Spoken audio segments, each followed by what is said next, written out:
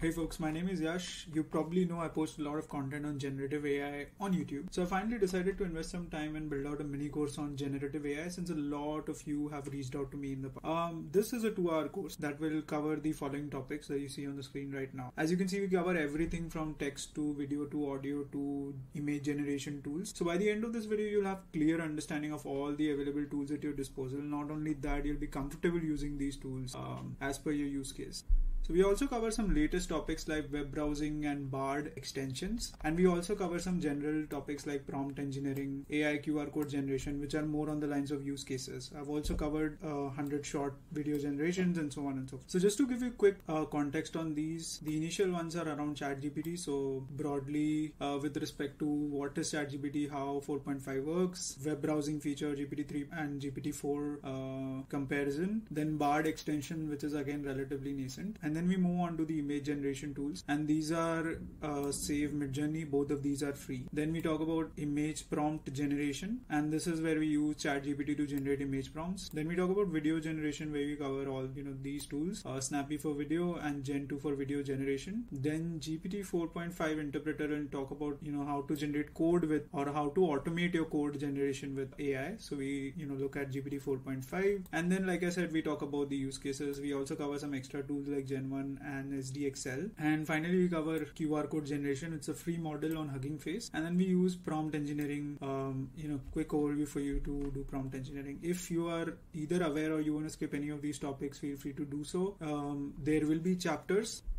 where you can decide to move between one or the other chapters depending on what you want to skip or what you want to continue learning. So feel free to experiment and play around that. Just a quick note, while the order of the course does make sense, so you can see we go from image to, you know, text to image to video to code to use cases, the context across videos is not maintained. For example, I won't be saying things like what we learned in the previous lecture or what we'll learn in the next lecture because these videos are disconnected in a way given these tools were released across different timelines. But that should not impact how you learn given the logical order of the flow is maintained. So yeah, I think that's uh, uh, all you need to know before you jump into the course. Without wasting any more time, let's just you know jump right in and start with the first lecture per se. I think I made this course back in back in January, and things have massively changed since then. Right, the whole GPT-3 uh, video that I had made for the first lecture is completely revamped now. So I'm making this new video uh, in April.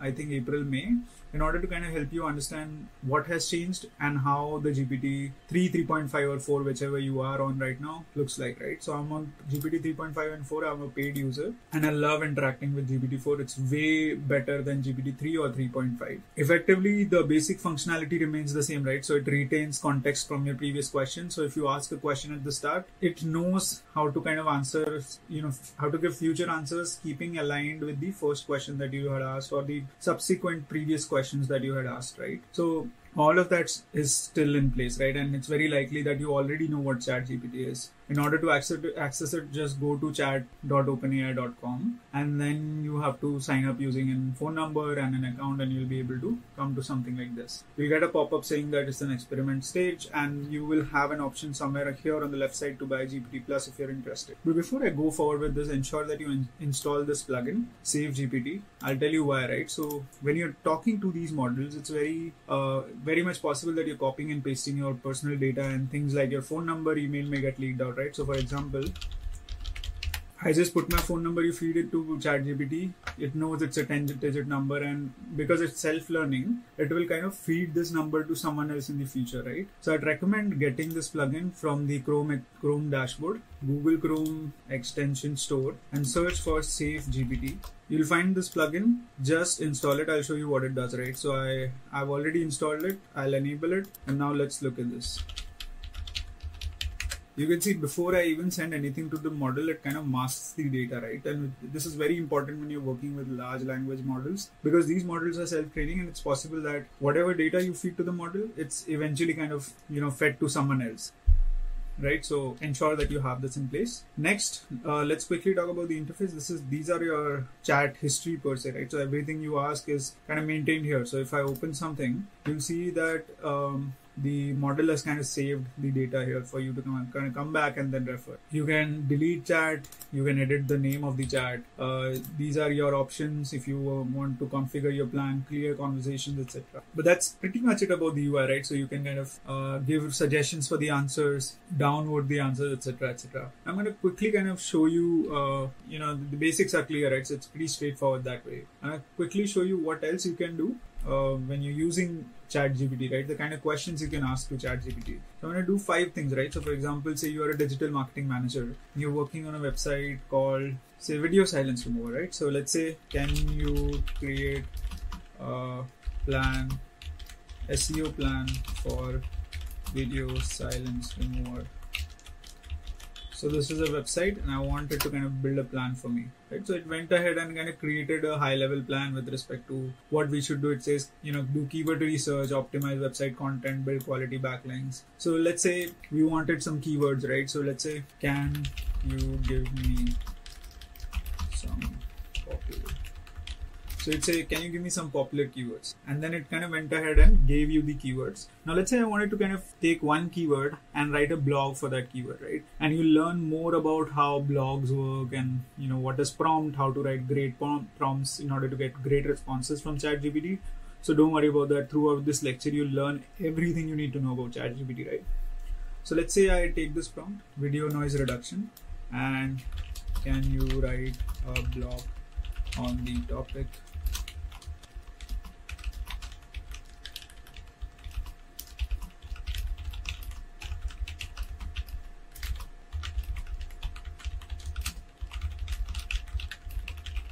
let's say this, right? So can you write a blog on the topic video noise reduction, 800 words, tone to be helpful, and SEO keyword to be video silence remover. The minute you feed something like this, it kind of writes the whole blog for you, which is then, um, you know, there may be some issues with plagiarism, and, and I'll show you how to kind of avoid that too in this section. So don't worry about that. But it kind of went ahead and wrote the entire blog for us. And this is effectively what ChatGPT is. It has all the data in, on the internet. It kind of, you know, mixes that data to create permutation combination depending on what you need to do, right? So it understands your question. It understands how your question was answered by someone else in the past on the internet. It kind of makes its own approach based on that to give you answer. And this is not it, right? So this is just not it. Now I'll tell you how creative it can get. Let's say, can you write a song on video.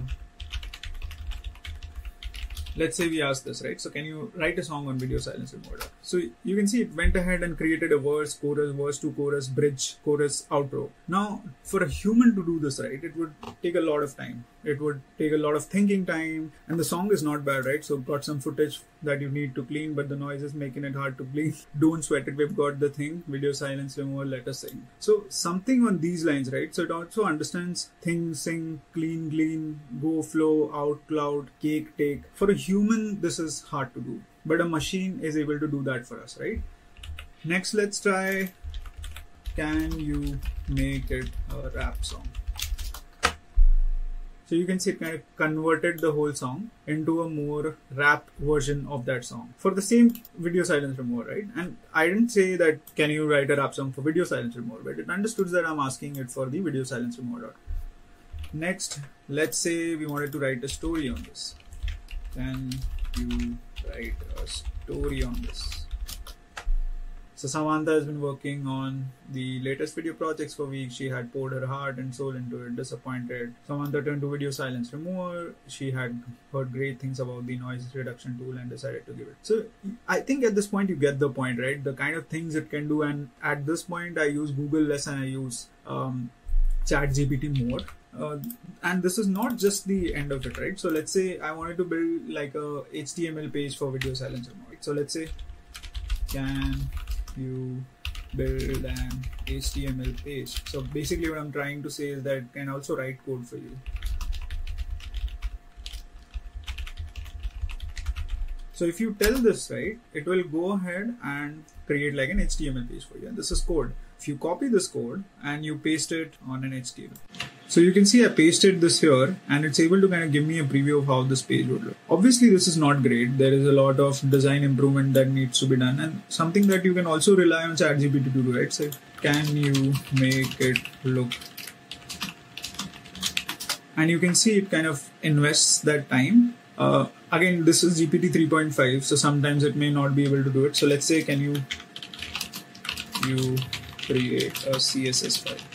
So CSS is basically responsible for the look and feel of the website, and it went ahead and did that, right? So this is the kind of capability that ChatGPT offers you. If you're not using it yet, I'd recommend start learning it ASAP because it's not only going to be impacting everything that you work with it's going to be impacting every job role and i would recommend like it's better to adopt it to get better than you know repent it and maybe wait for the right time to adopt it i think it's the right time you you have everything you need you have this course use that to your advantage and start using gpt for your own benefit in the next lecture we'll ask these same questions on a GPT-4 model and I'll show you the difference between GPT 3.5 or 3 and GPT-4. So we'll ask exact same questions so you know the kind of quality GPT uh, 4 offers to you, right? So I'm just going to copy and create like, a, okay, let's see you guys in the next lecture.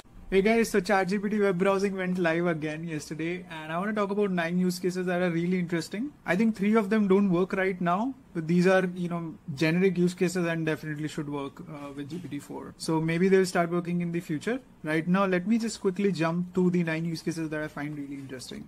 So first one, it can actually browse to websites and you know give you feedback. So if you have a website, you're looking to get some feedback with respect to the content that you have on the website or the way your website is structured, it can definitely give you some feedback. So I just tried Snapy's website. Uh, let me just put the prompt here. Can you review snapy.ai website and share some bits that I can improve? Uh, before I go there, in order to enable this, you need GPT-4 and you need to enable browse with Bing option, right? So once you have that handy, just go ahead and start playing around. It can literally browse the internet. One thing I've noticed is sometimes it will use the pre-existing knowledge that it already has to give you answers. So you'll have to specify clearly in the bracket saying browse internet, right? And this will happen specifically for cases where the information existed even in 2021. So it will prioritize information that it already has before it starts browsing the internet. So if you want it to browse the internet, ensure that you mention that bit about browse internet. Anyways, I think Snapy is recent, so it won't have that information. Let me just put this prompt here and show you Snapy for one second. You can see this is the website and it's going to be reviewing this whole website and give me suggestions with respect to how I can improve this. I'll ask some follow-up questions here so that you have understanding on what else you can do. So you can see there are several, several areas of improvement, no surprise. The user interface could benefit from clear de- delineation between sections for enhanced navigation. The community generation lacks contextual information regarding its purpose. The section building in public could explain the metrics being shared. The FAQ section is informative, but informative could but could be visually separated to enhance readability. You can see all of these bits are static elements, right? So now it knows that there is some text here, and text is you know kind of compressed in like this whole section. So it knows that there is too much text in one section. It makes sense to kind of separate it out. Then there is, I think, a build in public section in the bottom. Yeah, here you go. There is the feedback section and community generation obviously has no context because it has videos, which it does not go through right now. So yeah, I mean, these are pretty good actionable feedback. And obviously not all of them are meaningful because it still doesn't know uh, which feedback means what. But I think it's a good starting point for people who are looking to merely just do first cut review of their content and, you know, make some changes suggests some changes or improvements that can be implemented right away.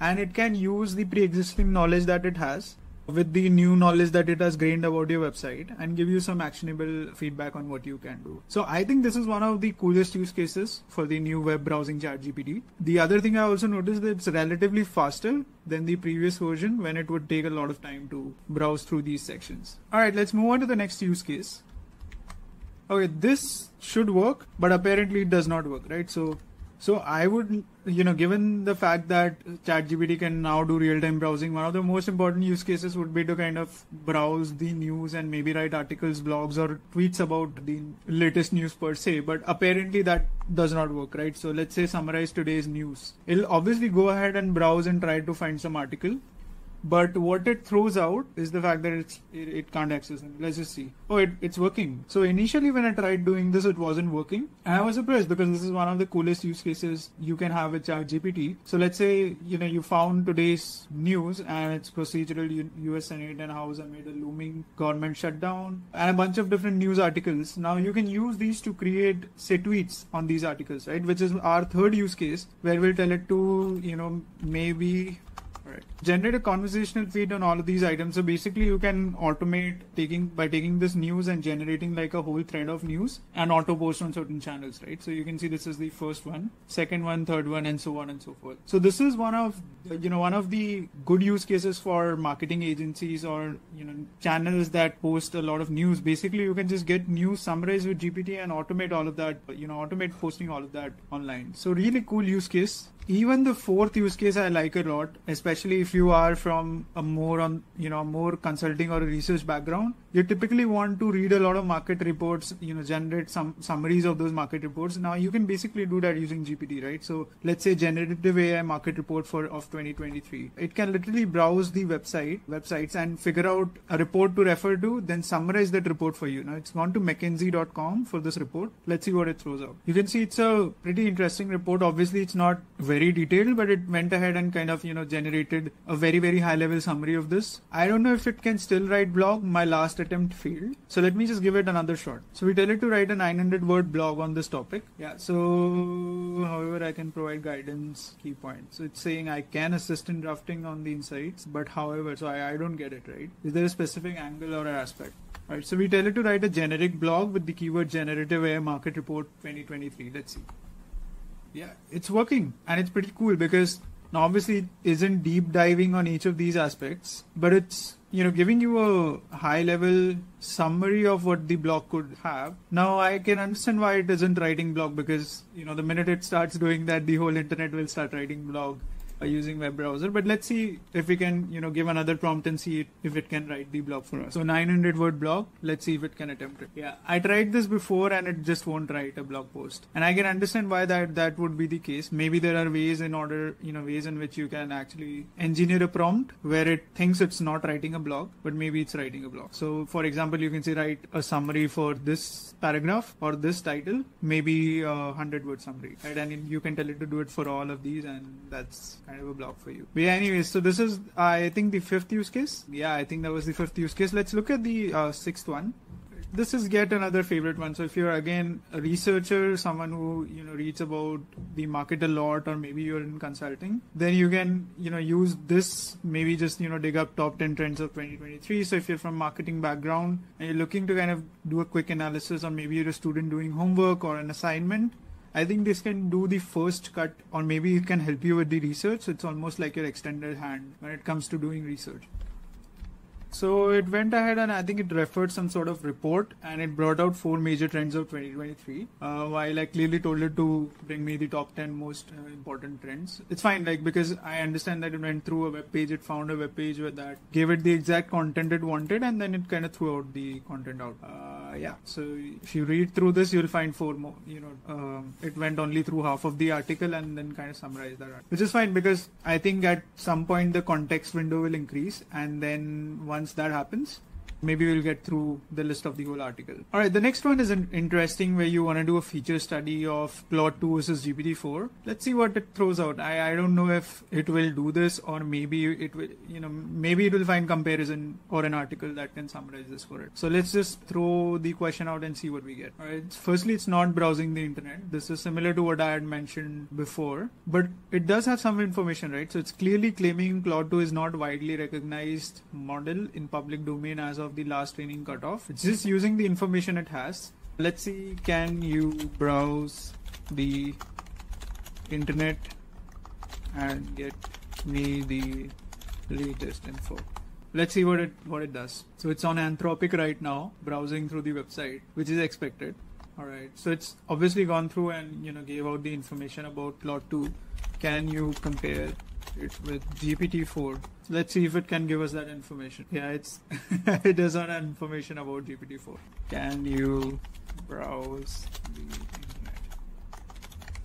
Let's see. It can get frustrating, especially when you have to prompt it again and again. So finally, it's looking for the exact same thing we wanted to, and it found this website where it's browsing the yeah. You know, so if you expect it to know all of this, that's not the case. It's basically just opening website, summarizing that information, and throwing it out. So yeah I think that's this one as our sixth use case. It's pretty interesting. Like like if you are a product manager, you want to do some research. Uh, I think this can be really helpful.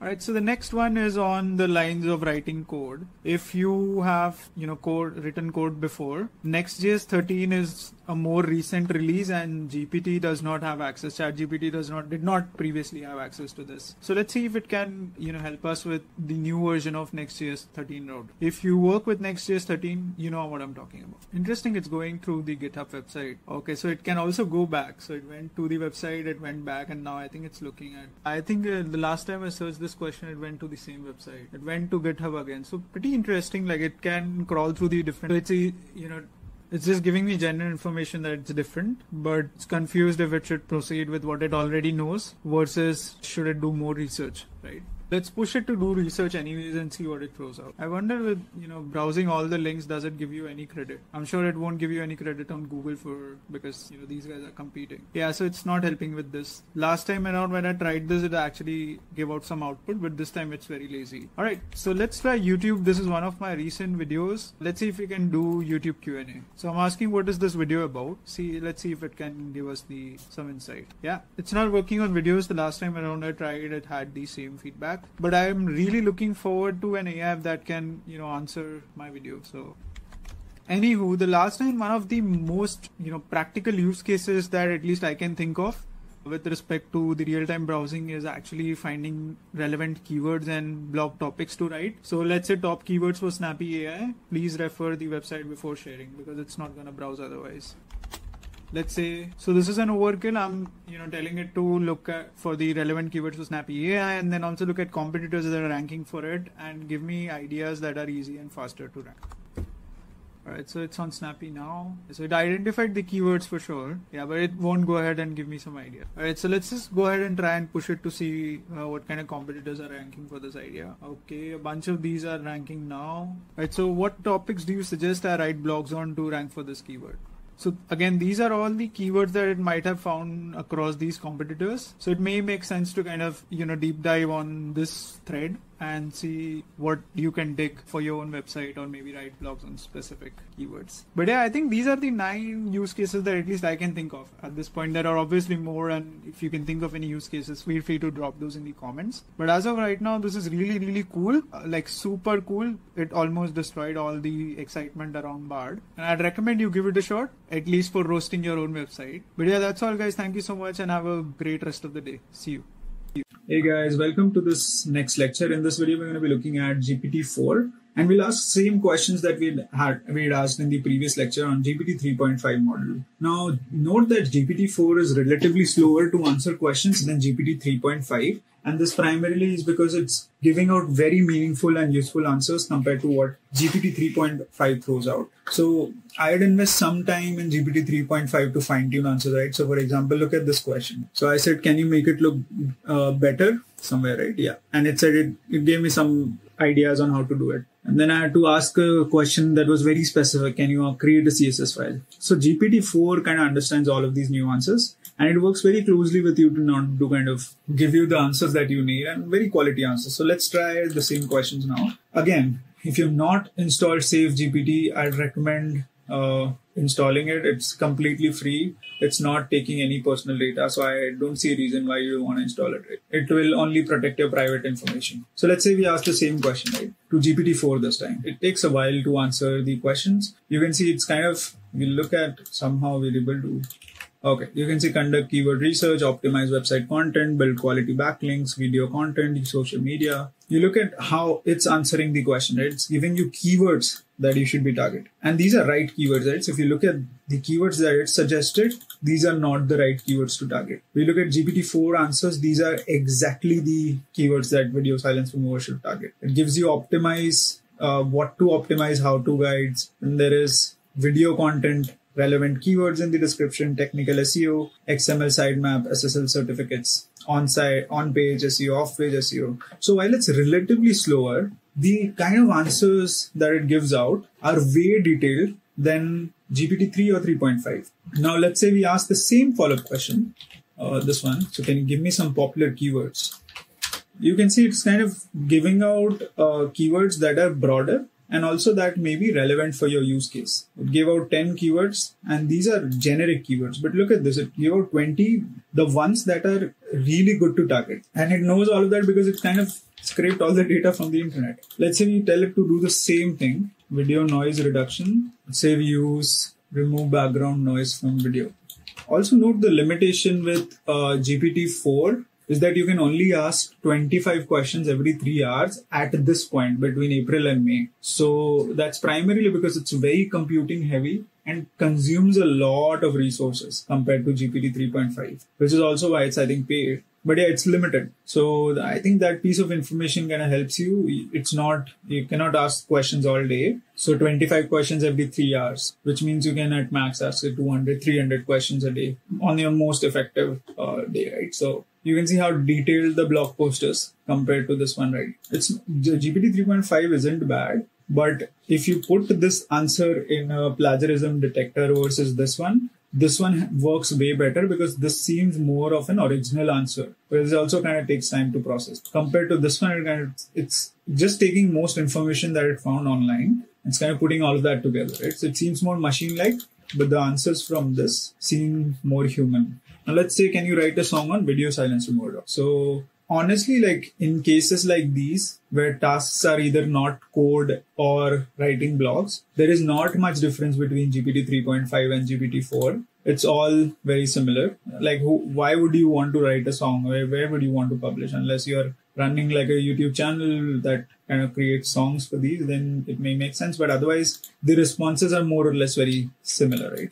Again, if you write a rap song, it's not going to change much. You write a story that may kind of be different because GPT-4 can write detailed stories. Also, while it's kind of writing the story, it can also give the title. You can see there is no title here, but it gave title. It started with Once Upon a Time, etc. Yeah. So while I'm also here, also ensure that you kind of label these you can see I've kind of added Upyoga GTM, Mean Gen GTM, Fatty GPT GTM. Uh, ensure that you kind of give out the titles, relevant titles, because um, after a point, you'll have so many things. It will become very, very hard to kind of uh, track each of your items, right? So ensure that you label them well and you arrange them and you can ask and you should probably create threads like these where you go inside them and you continue to ask questions right? So so that you don't end up creating so many threads. It will become like a management nightmare for yourself next uh, once this is done we'll also kind of ask it to write the code for us and let's see how that works out.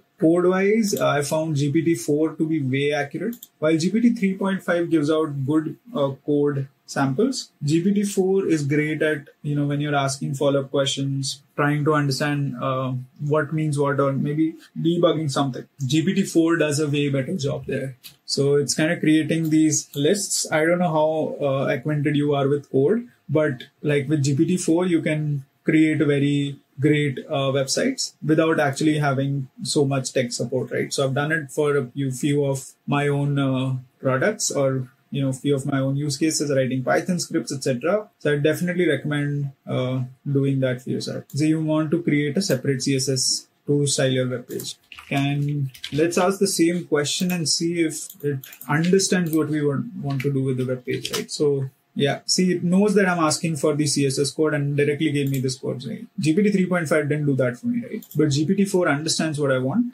and it kind of does that. Right, so I paste it here and you can see it kind of created. It's again not beautiful. You can add a CSS file in order to make it look great. But yeah, I would say this is not bad. This is decent work. Uh, to start off. And that's pretty much it for the uh, lecture itself. Over the next few lectures, I think you'll learn what are prompts, what is prompt engineering, um, you know, it's repository of prompts, etc., etc. But ensure, again, before I go, ensure that you have this plugin on because it will protect your private information. It's not taking any private information. You can go to the Chrome Web Store. It's not taking any private information. So ensure that you have this plugin. All right, guys, let's move on to the next lecture. Google Bard just had a major update, and I'm not even going to be explaining you what the update is. I'm just going to show you, right? So you can literally put prompts and ask questions about your documents. You can see I've asked latest email about Snapy.ai, summarize it. It's kind of gone through my email box, and it's kind of taken the latest email and it's summarized the email for me, which is insane. It's it's now looking through my Google Workspace not only Gmail, but it can actually look through a bunch of different things, right? So it can look through your drive, your docs, and get quick answers for you.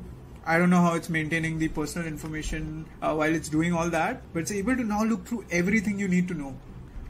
The most insane part about all of this though is that can actually now also look through YouTube, right? So all of those apps that you know would ask allow you to ask questions to YouTube videos, you can do that on Bard for free now.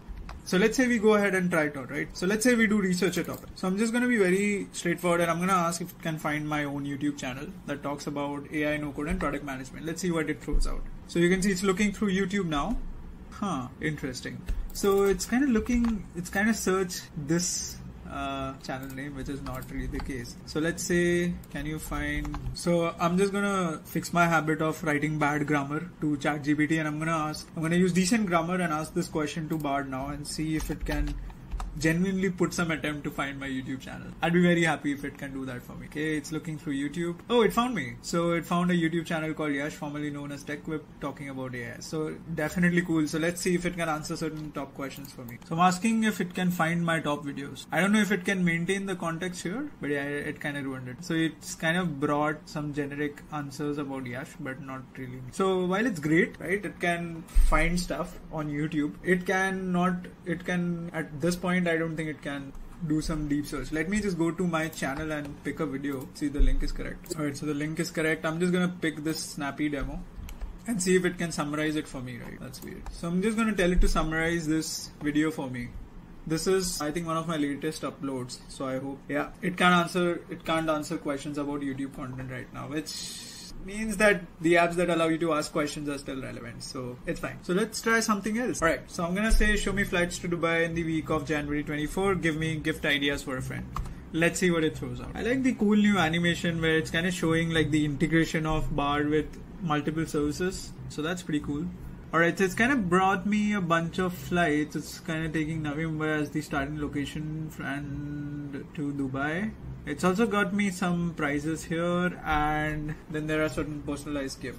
You can also see it's kind of listed down certain flights during that timeline, which is very very cool. I don't know, man. I, I think at this point I can still I can I, I can do this on Google, right? You know, the update is pretty cool, but the amount of things you can do with it right now is very limited. Like, what's the point of getting YouTube videos if you can't ask questions? What's the point of getting emails if you can't really reply to these emails, right? I mean, at this point, I'd be very cautious about putting my private information on docs and uh, sheets and stuff, right? So, yeah, I, I think it's pretty cool. Yeah, but also, by the way, if you want to enable this, you need to kind of you know, connect your uh, workspace account. But yeah, overall, it's pretty cool. I mean, it's going in the right direction. I heard, recently heard about Gemini and how it's going to be one of the biggest LLMs out there, even better than ChatGPT. So I'm really excited to see where it goes. But at this point, it's very nascent. Like I think the very first release. If you want to read more about the release, you know, feel free to kind of go to learn more. Yeah, you can go ahead and learn more about the release here. But at this point in time, I think it's pretty nascent. It's still some time before it can really kill ChatGPT. So, alright, guys, thank you so much and have a good one.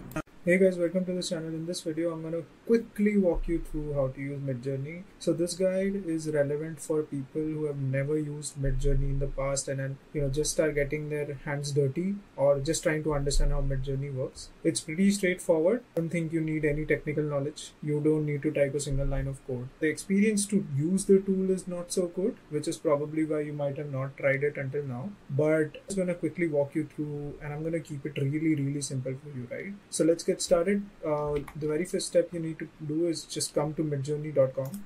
You can Google it here and it will, you know, be on top of the Google search itself. Just click on join the beta. The way you use Midjourney is by using Discord and Discord is an old school type of a chat tool, right? So if you use Slack, you may get acquainted with Discord soon. But remember, this is where a lot of, uh, you know, people who are tech forward or people who are gamers hang out, right? So let's just go to Discord now and understand how Midjourney looks in Discord and how you can start generating images in Discord per se. I'm going to give you a very quick overview of what Discord, you know, UI looks like. So don't worry, uh, I'll help you help you guys throughout the journey itself. So once you click here, it will pop out either in this UI. If you don't have a Discord, account, just go ahead and create it. It's very simple. It's just like any other sign up journey. If you have downloaded the app, it will open it in the app. Create an account here. Once you verify, you'll be in, and this is where this is how the Discord UI looks like. New, especially when you're joining in for the first time. So I'm just gonna quickly uh, ver- verify my account, and we'll start. Okay, so my email is now verified. So you can see the pop-up here is gone. Now you go to Midjourney and you click on join the beta. That does not happen and you can explore public server. Just type Okay, you can see that Midjourney is at the top. So either you go and explore it there, or you can just join it from here. Now, once you uh, join here, there are two channels, right? So Midjourney is like the main public server, and then there are smaller channels inside Midjourney itself. So there's getting started, ask question. I'll just look around for now. So that's what we'll do. Okay, so you click on join Midjourney. You verify that you're a human again once you join you should be able to see a bunch of these groups here right? I'm just trying to find a group where we can visualize all of this. So these are all the images that are generated by midjourney.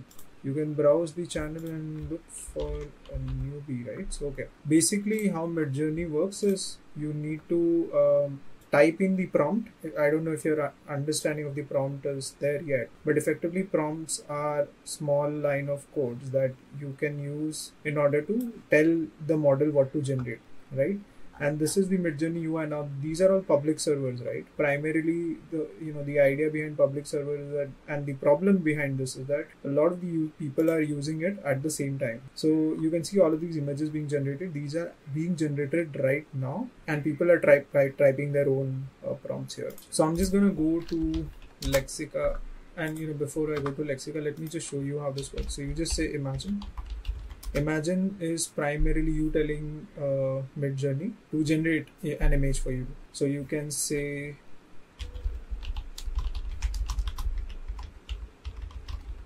Elon Musk and maybe Mahabharata right so it's a very open-ended prompt. You can give it uh, to midjourney once you click enter uh, okay so you need to accept the terms and services right before you move forward. So once you accept that you can see that it's a welcome message of sorts. And then once this welcome message you should also get a message that your image generation has started. Let's just wait for the message. If that does not happen let's just try it again right? So let's just say Okay, I think I saw the tag somewhere. Yeah, so there you go, right? Now you can see that it's generating our image. So it's tagged me, it says 0% there, and it says fast. Basically, this says that it's using a fast model and it's currently generating the image for us. Now, because this is a public image, it's often, if, if it's possible that it will get lost in the crowd but uh, you will be able to see uh, you know especially when it's your name you'll be able to see this yellow outline by which you can identify if this is yours right now I think once the image is generated it will again come at the bottom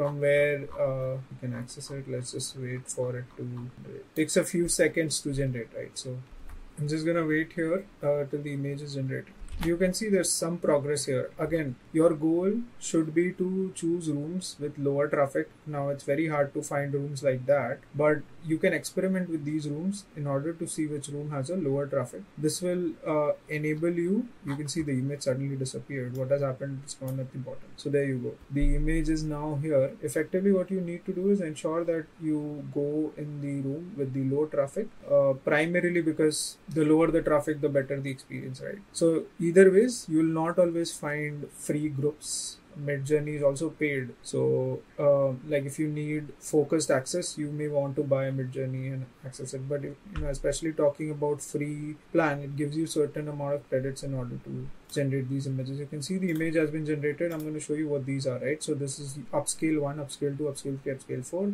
and this is V1, V2, V3, V4. So what this does is that if you do this, it will regenerate the whole grid of all the images. If you say U1, it will upscale the first image and give you the access to download it. If you say V1, it will take the version 1 and regenerate the whole grid based on version 1 let's try all of these ones. Uh, i want to generate more samples using the v4 right? So click on v4 it will start another generation right? So you can see there is one here meaning we were tagged somewhere and the fact that we were tagged somewhere would mean that the image generation you can see the job has started. So the variations are now being created on the v4 of the image that we had clicked. You can see all of the variations are now similar to the ones that we had clicked. What we'll do next is we'll try to upscale one of this. So the image is done you can see it's at the bottom and the image is now generated. Now for example i like say one of these images right? So i like this first image. So i'm going to say upscale one. This will upscale the first image and it will generate a new image for me. So this is where the job would start. It's basically improving the quality of the image for me to download I can then download that image and you know either like showcase it somewhere or just keep it for my sake per se. So let's just wait for it to um, download my image or upscale my image per se. Just again, like I said, the experience itself is not best, uh, and that happens primarily because this is a free plan right now, which is fine. I mean, in order to experiment and understand, you uh, this is completely fine. You should be able to play around. If you like it, then you can go ahead and take a look at the play, paid plan per se so it's gonna take some time to generate the image. I'm just gonna pause it for a while. Okay it looks like the image is now upscaled. It's right where it had added right? So if I scroll to the bottom there you go. You can see the upscale is done. Now you can create more variations off of this upscaled image. You can light upscale redo. I mean you can rescale uh, upscale the image again. Beta upscale redo. It um, again i don't understand the difference between these but effectively these are upscaling the images. You can go to the web and download this image or you can just click here and save it from here. Uh, but this won't be upscaled image right? In order to get the upscaled image you'll have to go to midjourney login and then download. You can go to web uh, that's what it does. And then you can give feedback on the generation itself. Now let's go to Lexica, which is where I find a lot of the art. Um, so I'm just gonna find something that I can generate in Midjourney. So all of these are, by the way, generated by Stable Diffusion, and Stable Diffusion, unlike Midjourney, is free and provides better experience uh, because it's in your own computer and you can control how you know to render images. But the problem with Midjourney is that uh, so problem with Stable Diffusion takes a lot of computing power, which you may sometimes not have. You need a great graphic card in order to process that. So I'm, I'm just going to go out there and tell the model to generate this view from earth moon split in half alien ships invading and sucking in earth means 4 4k okay so basically uh, uh, this is what the prompt is right? And this is how prompts work where you have to give certain details about the subjects the characteristics of the subjects uh, the verbs etc etc so if you're new to prompting check out my guide on prompt engineering. It will help you master how to write the best prompts for any image generation right? So let's just go ahead and tell the model to generate this right? Okay so you can see the uh, word is banned which is fine. What we can do is we can my goal was to talk about how Earthlings are being. Okay, let's just say invading Earth, and let's see what it generates by the way all of these prompts right you can also go ahead and download these prompts for yourself. If you i mean these guys some of these guys are playing around right? So you can go ahead and create copies of their art and save it for your model too. And that's also possible. Again it's nothing different right? Just go ahead and click um, v4 v2 whatever you like this will help you save the prompt in your own model. And this is the, our prompt the prompt that we gave. You can see it's generating it. Okay let's just wait for it. You can see it's 62% there. Again the whole whole game is on how you generate or how you write prompts. If you don't write prompts well you'll not be able to generate great images. So it's important to know how prompts work. And feel free to check out my video on prompting in order to understand how if you're new to generative ai feel free to check my course out on generative ai it will teach you everything you need to know uh, in this space. Okay you can see that it's split the moon split the earth in half. Let's what you can do is you can play around with this. You can say imagine.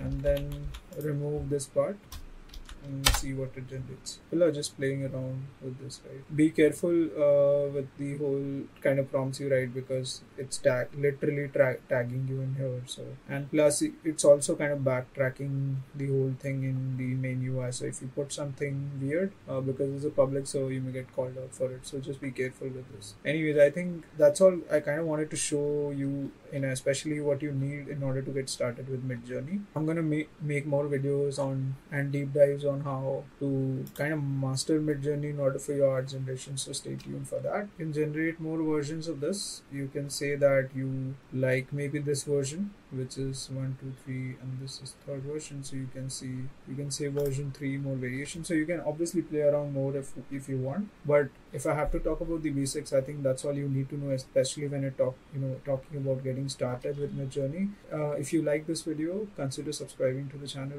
Drop a like on this video. Share this across with a friend and I'll see you guys in the next video. Thank you so much. Hey folks, you can see I've cancelled my Midjourney subscription here and it's because I'm very very confident about Fooocus generating my new set of images. So it's similar to the web UI but it also has features that can enhance your image and make it look like Midjourney images. So you can see the only prompt that was provided here was Forest Elf and look at the quality of the generations, right? I've not seen these kind of generations anywhere except for Midjourney or Leonardo. Now the reason why the generations are so good is because it's still using Stable Diffusion XL1 in the background, but it's using its own rule sets in order to enhance the capabilities. Now to start off, all you need to do is click here to download this and it's surprising how easy it is to use.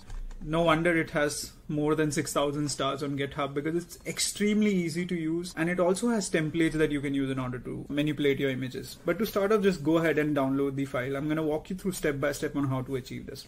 So once you download, you should see something like this. Uh, obviously, after you extract it, just click on run. This will do a bunch of things, right? So this will firstly download both the models in your local system. I already have it here. So if, if I go in the models checkpoints, you can see I already have both the models, but in your case, it will go ahead and download the model for you. After the models are downloaded, that's, that's pretty much all you need to do. I mean, at this point, you're set to run this in your local computer. So you can see the UI is loaded and it's extremely simple to All you need to do is just type a prompt. So let's say forest elf, the prompt that uh, was shown in the sample and it will you know kind of ensure that it's using the right GPUs in order to do the generation. Now I have a 4070 GPU attached to my PC, so the generation is still going to be faster relatively. But they also have a guide that you can refer in case you want if you want to run it on the low end CPUs or low end computers, right? So you can see the guide here, and you know while it's generating, so you can also see that it's kind of generating these images in the command prompt here.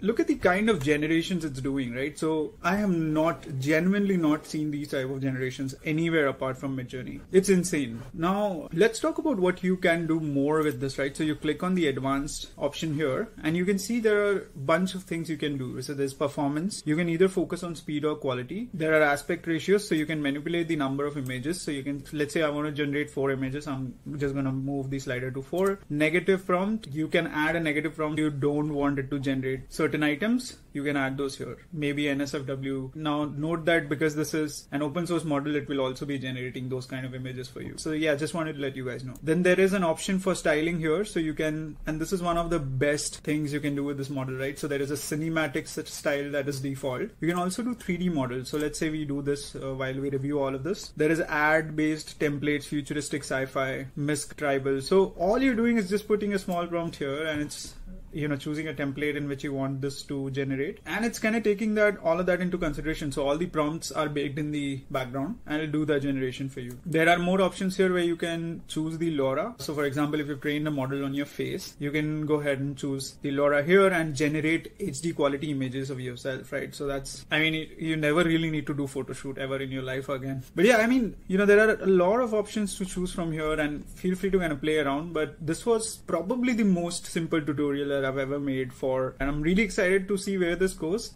But as of right now, I'd recommend if you're using any sort of image generation, it's time that you say goodbye and start using this open source uh, framework or model and stay excited for what's going on. And obviously, I'm pretty confident that the folks who are maintaining the repository are obviously going to be working really hard to keep it up to date. So yeah, that's all I'm going to be talking about the video. All the best and have fun generating great images like these. Thank you so much.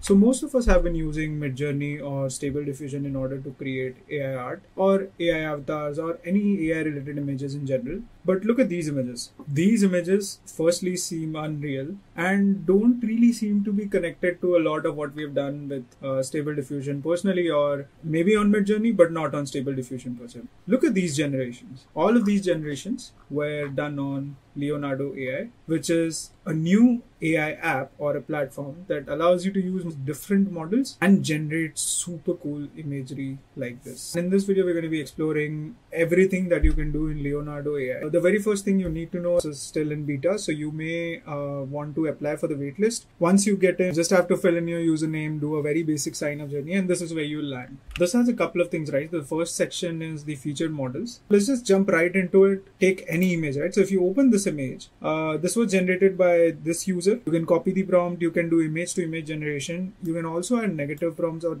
it also kind of talks about um, the resolution when it was created, the sampler used, the base model that was used, and then certain related images with this, right? But the most important part here is the fine-tuned model that was used to generate this, which is the core capability or the uh, one of the most important features of Leonardo AI that it allows you to use fine-tuned model. So this is what I mean when I say fine-tuned model, right? So this specific model was created by someone whose name is Expect and is great for photorealism and artistic creations. So if you click on the model itself, you can see uh, there have been 0.4 million images that were generated using the model, and then there are certain examples of the images that were generated. Obviously, a lot of these top images that you see here were created using this Deliberate 1.1, uh, which is which seems to be one of the most popular model. But if you look at Leonardo Creative here, this is an alternative fine tune of Stable Diffusion 2.1 that brings a little more creativity and interpretation to the mix, and looks like voice to be one of the highest used models, right? So I can see 1.5 million images that were processed using the model. So the idea being that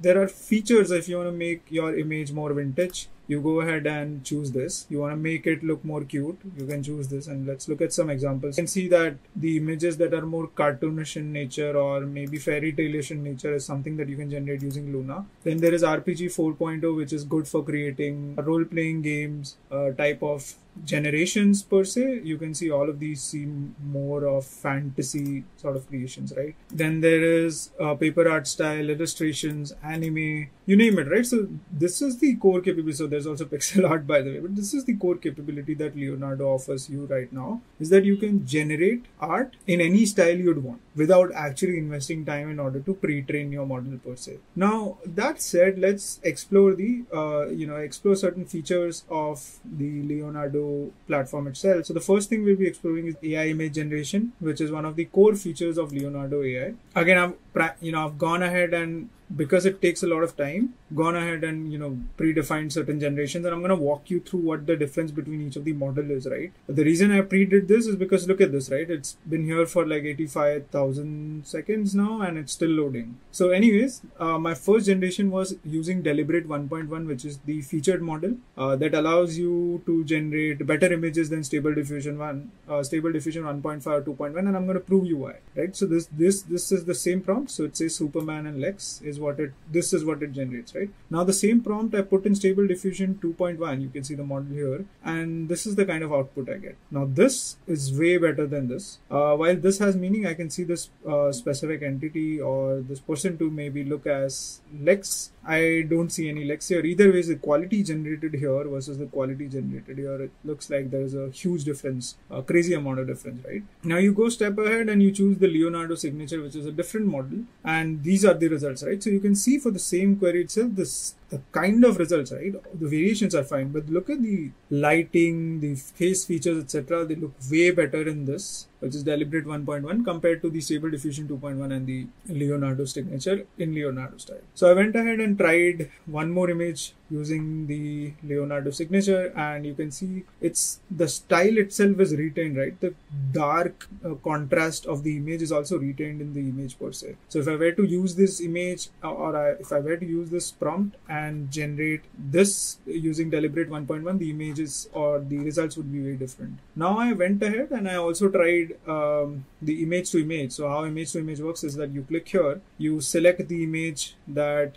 you want to modify. In this case i've selected this image. Again the process is not very different. Uh, you define the prompt on the top here. You select the model and then you go ahead and select the number of samples the guidance scale the step count. Guidance scale is basically how strongly your prompt is weighed. So the more points i think from 20 itself. So if you have 20 your output will be more aligned with the what input you put in. The lower this the lower it will focus on the prompt that was given by you. Step count is the number of noise that the image generates before it is rendered so 50 takes a lot of time compared to 30 but 50 also generates better images and also consumes more gpu right? Either way so uh, this is the image we want to upload. Now you have things aligned. So you say cyborg. And I'm going to show you output on how this looks like. So you click on generate and it'll start the generation regardless once the generation is complete you will be able to see something like this right? So in this case i entered supervillain with deliberate 1.1 model and this is the kind of results it would throw out. My input was similar to the fourth image and these are the samples. And similarly i put mage here. Again the hair looked different on all you know most of the images but the difference is apparent right? So i used the deliberate 1.1 model here as well. Now here i just went ahead and i used leonardo creative model with just the keyword warrior and this is the kind of output I get. Uh, this is very close to what Midjourney does and looks super cool. This guy has a Superman logo here for no reason, but yeah, this is the output. Then I went ahead and you know recently queried a warrior on a disco floor. These are the outputs using Deliberate 1.1 Leonardo style. You can see how realistic these look, right? I, in order to kind of show you the example itself, a futuristic service app with sleek modern design, vibrant neon glow. These are the uh, kind of mock-ups that it was able to create from the design standpoint. And finally our recent image, right, where we said cyborg. You can see they've created pretty cool uh, cyborgish or cyberpunkish images for us to kind of prefer. I wouldn't say these are perfect, but I wouldn't say these are too bad either, right? It's a good start. Man, this looks so cool.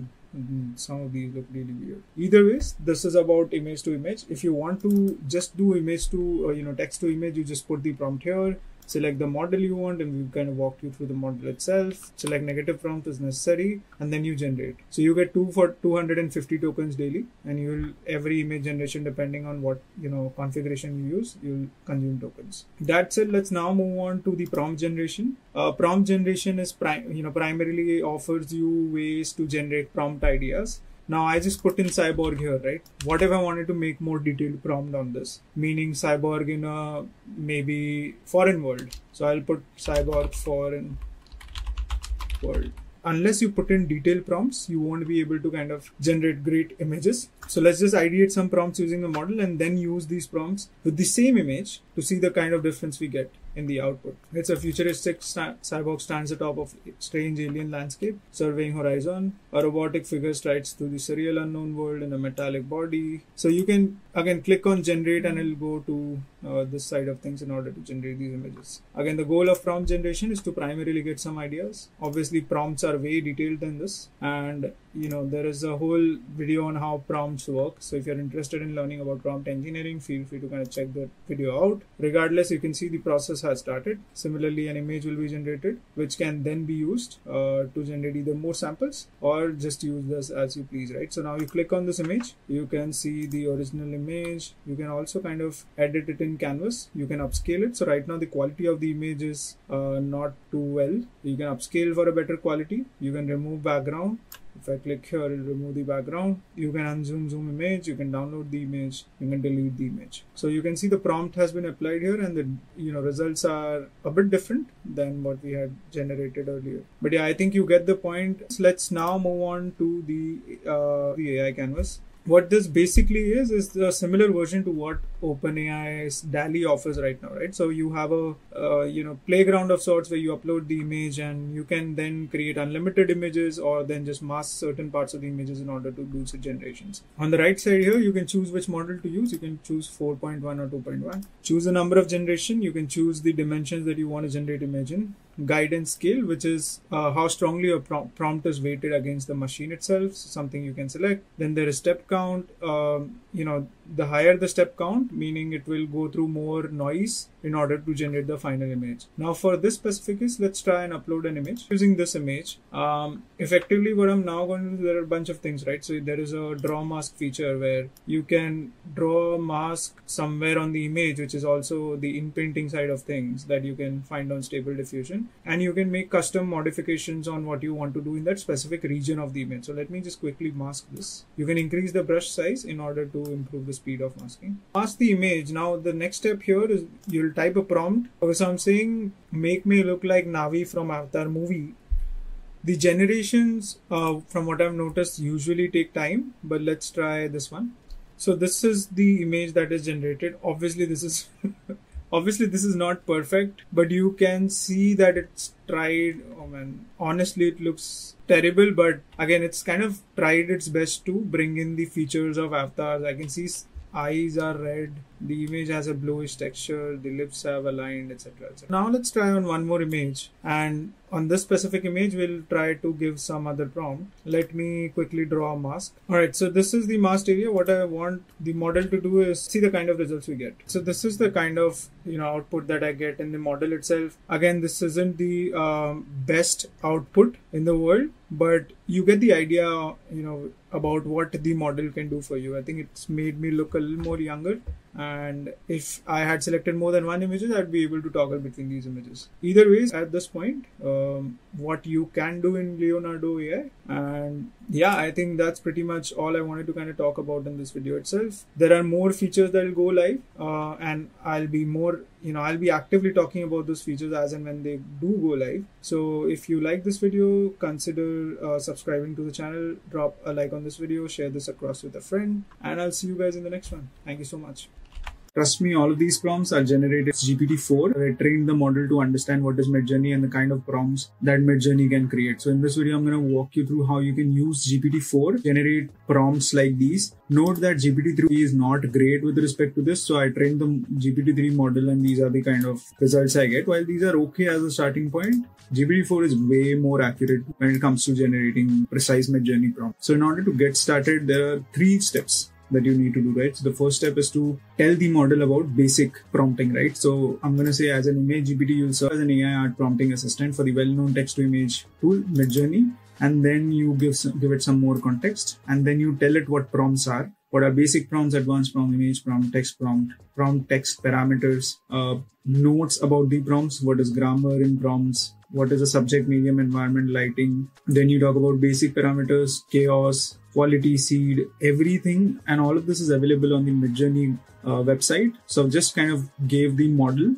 all the details that it needs to know in order to start building these prompts. And finally, I told if it understood all of this, just say got it. So it went ahead and did that. Next, now that ha- now that it has the guide to generate these prompts, we need to tell the model we need to give model some examples for it to kind of internalize certain structure with respect to this, right? So I've given like 10, 10 odd examples from the Midjourney uh, Discord channels and kind of trained it for these use cases and you can go ahead and train it for your specific use cases. Then I asked if it understood how Midjourney prompts would prompts work, right? So it kind of confirmed that it understood and kind of gave some details with respect to how it can generate these prompts. Finally, I uh, post the training was done. I told it to generate 20 Midjourney prompts across different categories like people, space, imagination, food, travel, anything you can possibly think of. So it went ahead and created really great prompts, and I'm going to try it in Midjourney to show how some of these look. But it generated 20, and then at this point, you can generate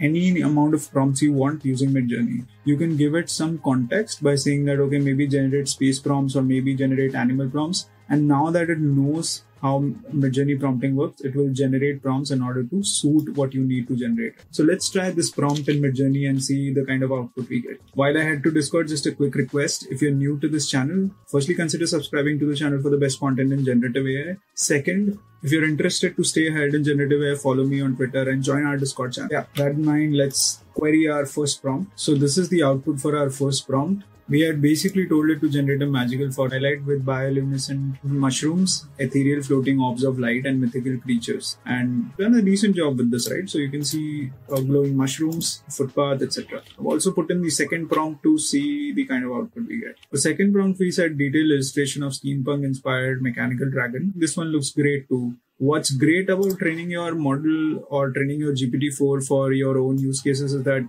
now that the model understand how it works, you can actually go ahead and do creative things like telling it to write stories, right? So I've told 10 Midjourney prompts on a short story such that if images seen one after the other seems logically uh, moving story, give it a title and then give 10 Midjourney prompt. Kind of went ahead and gave a title of the story, went ahead and generated 10 prompts that if you would look obviously the these may need more refinement so what i've noticed that when i run this and and the results to this um, are available in my previous video on stable diffusion xl versus midjourney v5 what i noticed is that the protagonist kept changing which kind of changed the alignment of the overall prompt. So if instead of a young adventurer you could feed in a more detailed prompt like say a person with red hair or a person with gray hair wearing white trousers etc etc right? So all of that will make it more centered and you can, can tell gpt-4 in order to keep those details in mind. So maintain the integrity of all the prompts. All of that is possible once you have this trained. This is like your own bot to generate prompts after this right? You can obviously keep feeding more prompts. So at some point so at some point i also fed more prompts to the model saying that okay these are some more prompts for you to kind of internalize how all of this works. And after this the prompting got more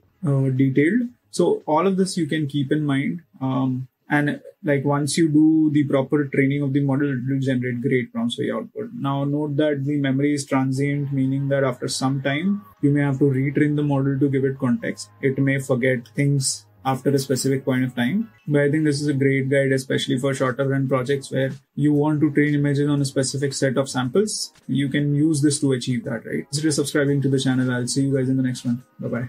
Hey guys, welcome to this channel. I'm going to show you how to generate 100 short YouTube videos Instagram Reels or TikTok only using AI in an hour. And it only requires you to do copy and paste, which takes you 10 seconds for every short video. So we're going to be using ChatGPT to generate ideas, maybe fictional ideas that are around AI stories, educational content, and so on. And then we'll use Snapy AI to generate the shots. So Snapy AI generates really good shots. And I'm going to show you an example of a shot that I generated. It did pretty well on YouTube. So I'm just going to show it to you in a second. Alright, so this is the shot. I'm not not obviously going to be running through the entire shot, but let, let's just quickly take a look at the preview of what it generated from this prompt. So you can see it's literally just this much. And it generated something like this.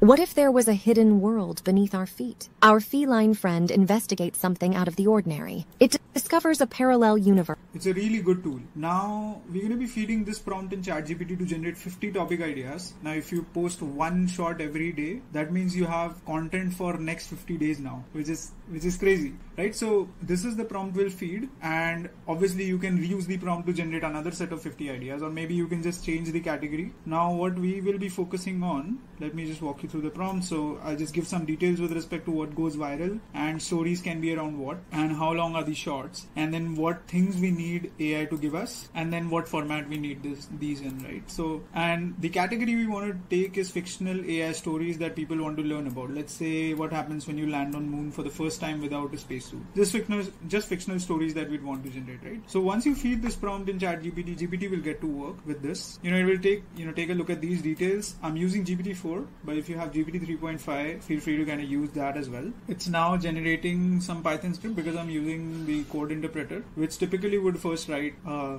code and then give you the final output. So let's just quickly take a look at some of the ideas. Swimming in an ocean of jelly, spark imagination. Jellyfish have been around over 500 million years, so that's some extra knowledge. What if we, what if trees gave free Wi-Fi, which is really interesting. Stir soci- societal reflection. Trees produce oxygen, vital for human survival. You know, we'll go ahead and generate some very cool fictional ideas for you, which you can then use and feed to Snapy AI to generate content for yourself. Now it stopped at around I think 10 ideas. We'll just generate, we'll just tell it to generate 50 ideas in a tabular format. So it's now generating a list of 50 ideas. We're just going to take the first one here, first date with an alien. We're going to be feeding that to Snapy AI why are we generating this? We're exploring cross uh, species communication.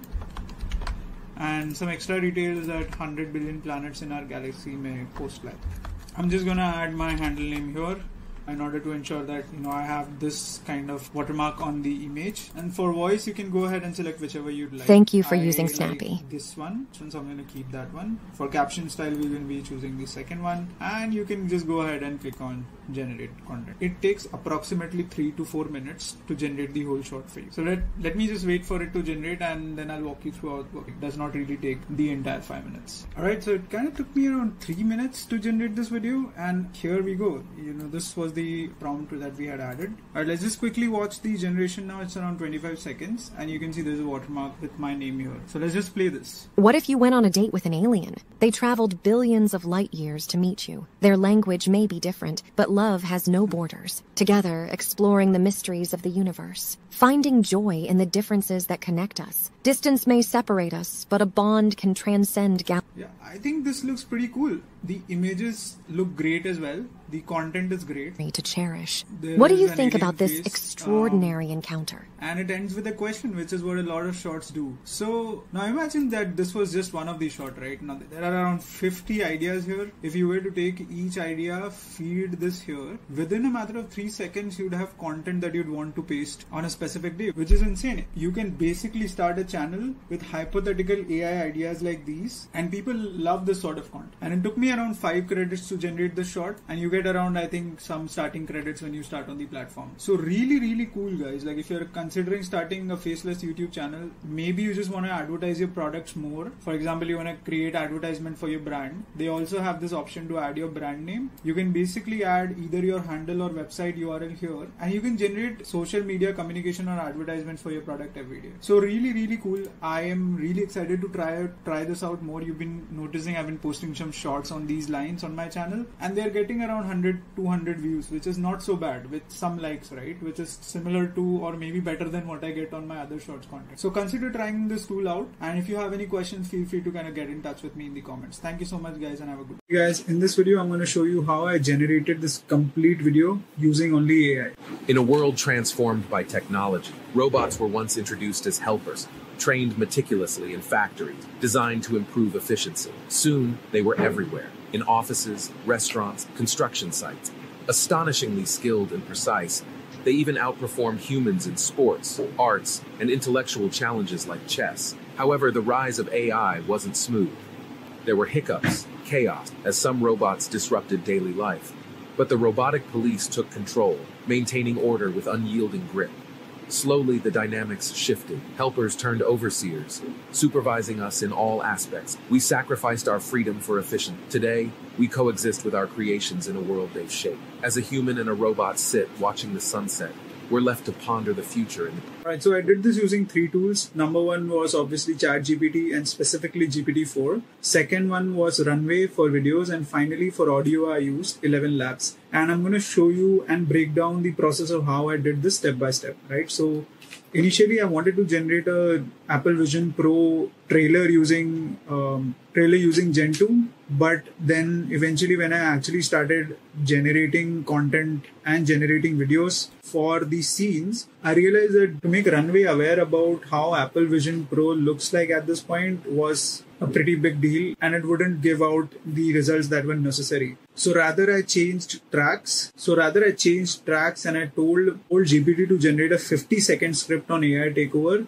Each video scene will be 5 seconds and each scene in the script should be followed with a prompt for Gen 2. Right? So I gave it a structure, scene and prompt and then it was able to generate initial 10 scene story for me with a prompt that I could give to Gen 2. Then I made some customization with respect to what I wanted to see in the scenes and I also told it to make these scenes a lot more detailed because when I was trying to take these prompts and add it in Gen 2 they weren't giving they weren't really giving accurate results, right? So I told it to detail out prompts further and it went ahead and did that. So once I was able to generate prompts here, effectively what I did is I copied these prompts and I went to Gen 2 and I generated the videos for these prompts. So you can see these are the videos that were generated and it's pretty simple how you do this, right? In order to generate videos, just go to generate videos, click Gen 2 and then you add your prompt here and able to generate a video for you like this, right? So it's pretty straightforward. I was able to generate all the scenes for the video here, uh, specifically 10 scenes. And for the scenes that I wasn't convinced, you can see there are 17 videos that I had generated here. So these are, so some of these videos weren't really up to the mark. I either discarded them or used them as fillers uh, in the final video that I had made, right? You can see this video I did not even use in the video, right? So because this was merely some text floating on the screen. Anyway, so this was this is how I was able to generate every video. Now Gen 2 will typically generate four second videos and they will not be interconnected, right? So what you need to ensure is that the prompts that you put are actually interconnected with each other. So the scenes are all, if you look at these scenes, right, they are somehow relevant to the previous and the next scenes. So you need to ensure that the prompts that you're putting in order to build a story are related to each other. Now, once I had the story done, right, once I was also, yes, you need to keep it below 320 characters for the prompt to work. Once I was able to generate the entire story uh, or generate all set of videos, I told it to write a 60 seconds audio script for the video, right? So in this specific case, uh, it was able to write this script and then I went into 11 labs and 11 labs does give you around 10,000 um, characters for free every month. So it's a great, and I think it's one of the best tools in the market to currently do any text to audio or speech, speech synthesis. So I went to 11 labs and here I was able to paste the content here. I was able to generate audio for that content. So, so in very simple terms, I took the script here and I added it here. I selected, I added it here and I selected the audio that I wanted. So I heard a couple of these audios. You can see, you can demo them here. Not See, what we have, but what we enjoy here. constitutes I chose the most appropriate audio for the video and then I added the texture and then I generated it. So once the generation is done, it's as simple as just downloading it, right? Now, once you have all of these things, so once you have the audio and video in place, now all you need to do is either go to Canva and put your scenes here and put your audio here and just let it play because you know the scenes are connected and so is the audio. I specifically use Premiere Pro because I use it for my editing needs. And this part is pretty simple because all you need to do is drag and drop your videos here. Let's say these are my videos. I to align these one after the other. So this is how I probably would align my videos and then drag the audio in the scene as well. Let's say this is the audio we wanted to drag. So you drag it like this. And this is pretty much how the this is pretty much how I created the entire video merely by using AI. You can see the only components I was really investing any time on was putting these clips together. But otherwise the script, the text and the audio, everything was generated using AI. And I'm hoping you can give this a shot too. Gen 2 gives you some free credits. I think it gives you around 70 seconds worth of free video that you can generate. So do go around and play with the model. If you want, you can go ahead and subscribe to Gen 2 if you'd like the product and any of these tools that I just showcased here. But I hope this video was able to add value to you guys. Thank you so much. Have a good one. Hey guys, so it's been some time since I last uploaded a video. It's you can see it's been three weeks, and I apologize for it. Over this time, I've been working on building an AI video editor, and let me walk you through that over the video itself. So the tool as of right now is called Video Silence Remover because I wanted to focus on one niche that is removing the silent parts of the video. Right? If you go through the website, you'll find that all of this is very very new as a content creator or someone who creates YouTube videos a lot, there are sections in the videos where you don't talk. Maybe you're reading the script, or maybe you're just re recording something. Maybe you're thinking about something. Maybe you're showing something, or maybe navigating to some other page. And all of that editing takes a lot of time in the background. So while I'm talking to you here, over this video I'll go through different screens and there will be blank spaces where there will not be any sound in the video itself. But when I have to edit this post the recording itself, individually cutting those parts take a, takes a lot of time, which is why I created Video Silence And I have bigger plans for. But as of right now, let's just look at what it does and how it works. So in order to use it, just go to the videosilenceremover.com and go ahead and click on try for free. It's currently free, so you don't really have to worry about putting your credit card details or worry about paying anything. You should hopefully be able to land on the dashboard like this, where you'll have an option to select video silence. Now, while it's called video silence remover, it's way more than just that. And let me explain you why. Firstly, it will definitely go ahead and cut those silent parts. for you. Second, it also kind of optimizes the file size such that the quality is retained but the file size is comparatively smaller than what than what the original file size was Alright, so once you land here, all you need to do is select the video. I'm also going to be showing you a demo video to demonstrate how it works. So I'm uploading a two minute video that I had recorded for one of my shorts. It'll just take a few seconds before it's ready. So let's take a look at this sample video that's kind of two minutes and two seconds long. And let's focus on one of the sections of the video. So, so we're going to be starting from the sixth second in the video and listen to the video now. Note that Google Bard just added an upload feature on the website where you can now upload images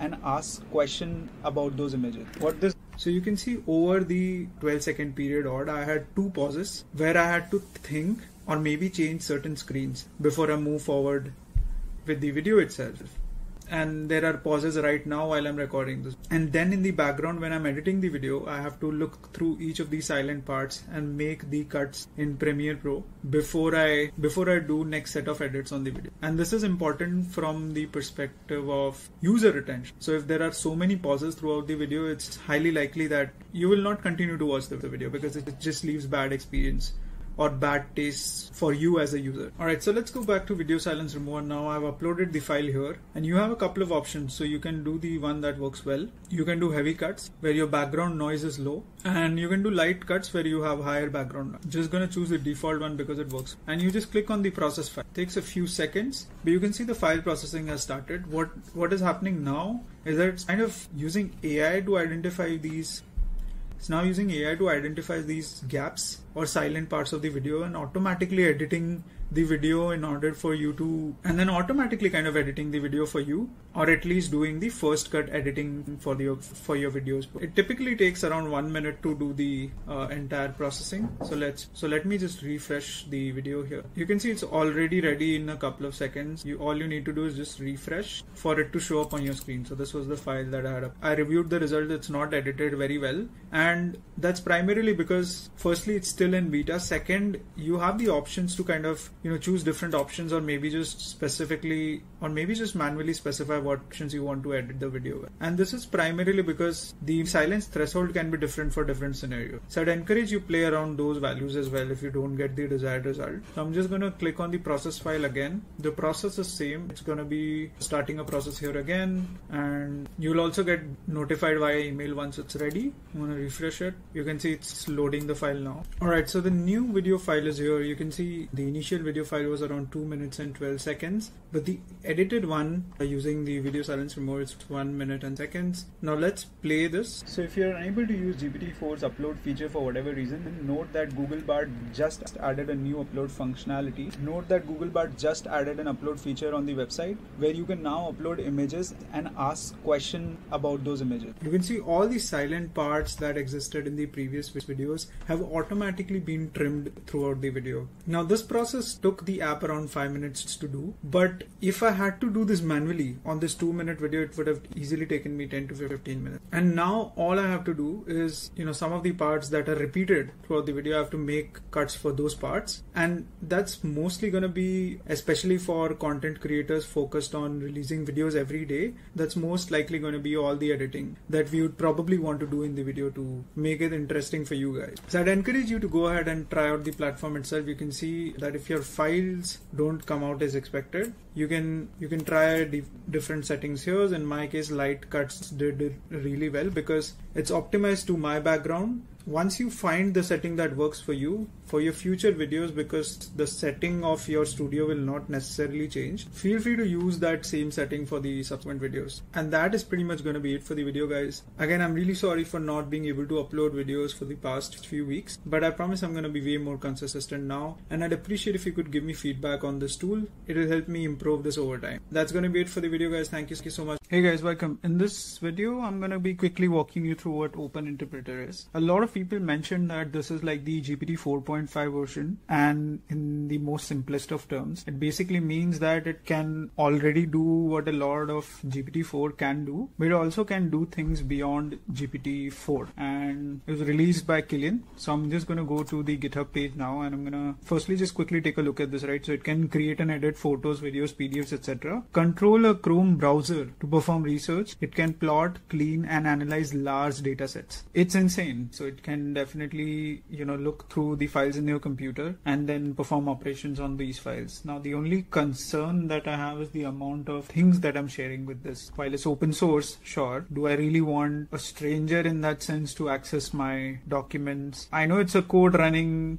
somewhere in the cloud, right? But you are of still using your computer to send some data there and then processing in the cloud. So what I'm gonna do is I'm I'm gonna try it in my PC anyways. And over this demo, I'd want you to think that is this something that you really want to do. There are two ways you can run this model, right? So the first method is using your GPT-4 API key. The second method is using the open source Llama model. For the first method, it's pretty straightforward. You just need the key and it works. For the second method, you will need to download Llama, which the interface will automatically do. So you don't need to worry about. The third third thing, and I think this is the pro- probably the most important thing, is you'll need Python installation. So in order to download Python, you need to go to python.org/downloads, and you can download Python from here. And just I think it's a pretty straightforward setup, but ensure that there's an option to kind of add Python to your path. You enable that while you're installing Python in your system. So if you already have it installed, you don't even need to worry about it. I think you're all set. At. All right. So the overview of what it is is clear. Now let's just quickly start running this in our local system. So in order to run this, it's like a library for Python, right? So it, you need to do pip install open interpreter.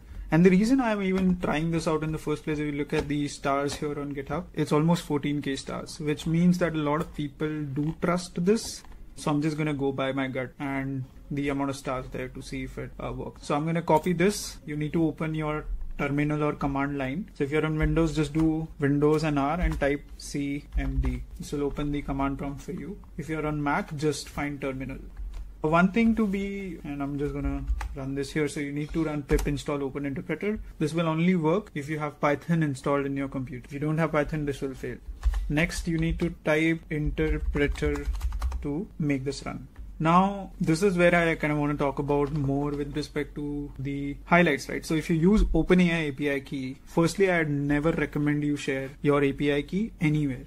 Now, it's possible that it's just using your local key and not sharing it in the cloud, but it's very unlikely because it's accept- accepting your key and is definitely sending it somewhere for uh, the further processing. So if you are using this to test this in your local system, just ensure that you use it once and then you delete your key from OpenAI ecosystem. The second note on code Llama is that Llama is maybe not supported in Windows as far as uh, my testing goes. So I tried it, running it using code Llama, but it it just gave me an error saying that that it's not supported in my system, specifically Windows One, I guess.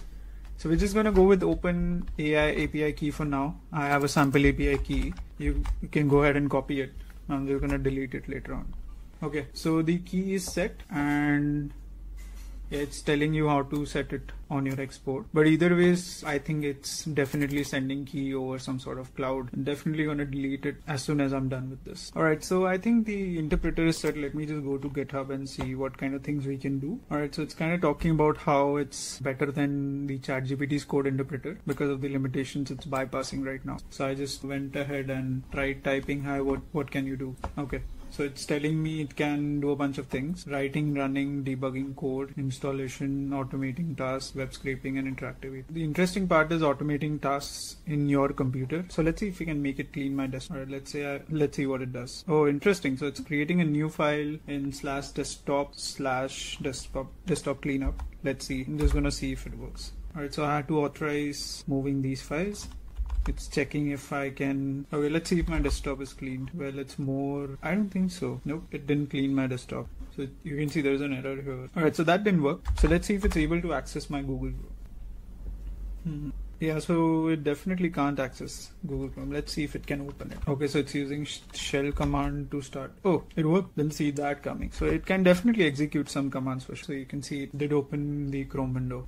And you open Chrome and go to snapy.ai. Let's see if it can open Chrome window and go to a website. Alright, summer pricing. You can see it's yeah, it's going to the website too. So that's cool. And that's pretty cool. Okay, let's see what what else can we do. So it can't access your desktop, but it can run your shell file. Let's say, can you write a code for a basic snake game create project folder on the desktop.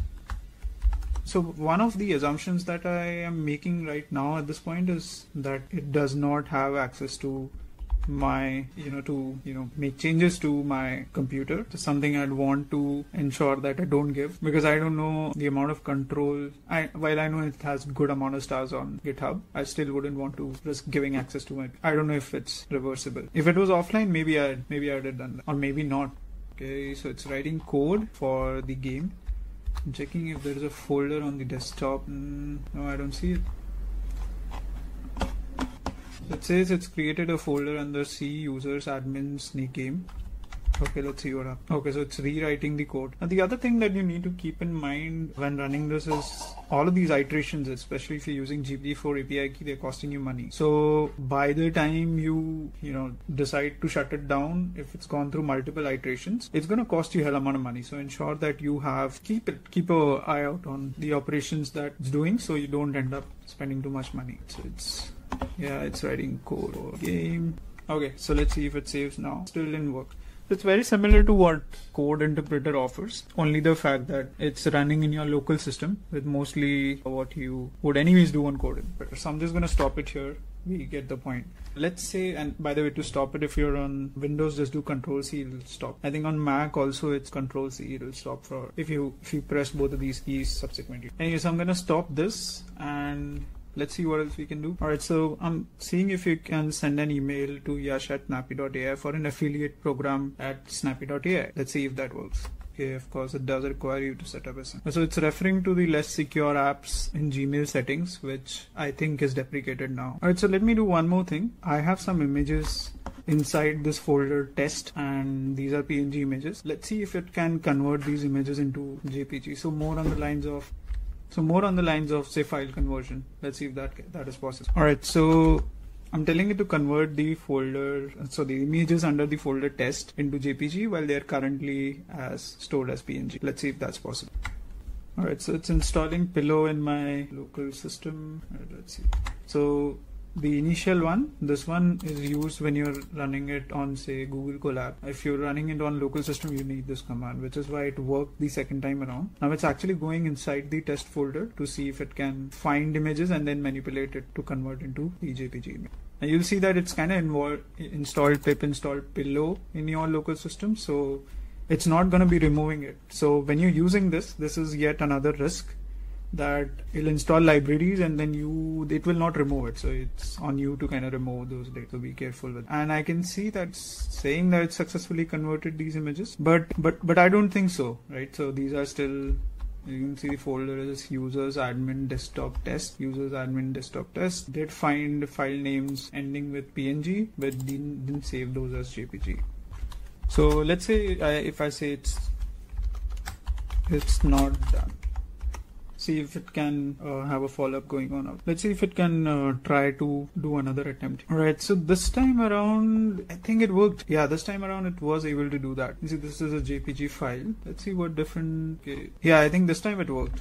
I don't know why, but it did work this time. All right, and I think that's now I went through a bunch of different commands across different categories and to be honest, it does work great when you want to do file operations in your local system when you want to do operations that are specific to say your shell let's say if you can open a specific file do some research etc but it's always going to be installing open source python libraries to do certain bits. So be careful when you're using this. Uh, would I use it in my local system? At this point, no, because it's very risky to have this running. Because I don't know what uh, kind of files it'll download and I do, it's not like the app is bad. The fact that it's using GPT-4 in the background, and I've noticed that some of the output that GPT-4 throws out, it, it's not suitable for your use case, right? And if you install this, it's gonna throw in a bunch of different libraries, and if you don't remove those later, libraries are basically installs. You saw one of the pip install, right? If you don't remove those later, they're gonna be problematic. So I'm a bit skeptical to try this out right now, but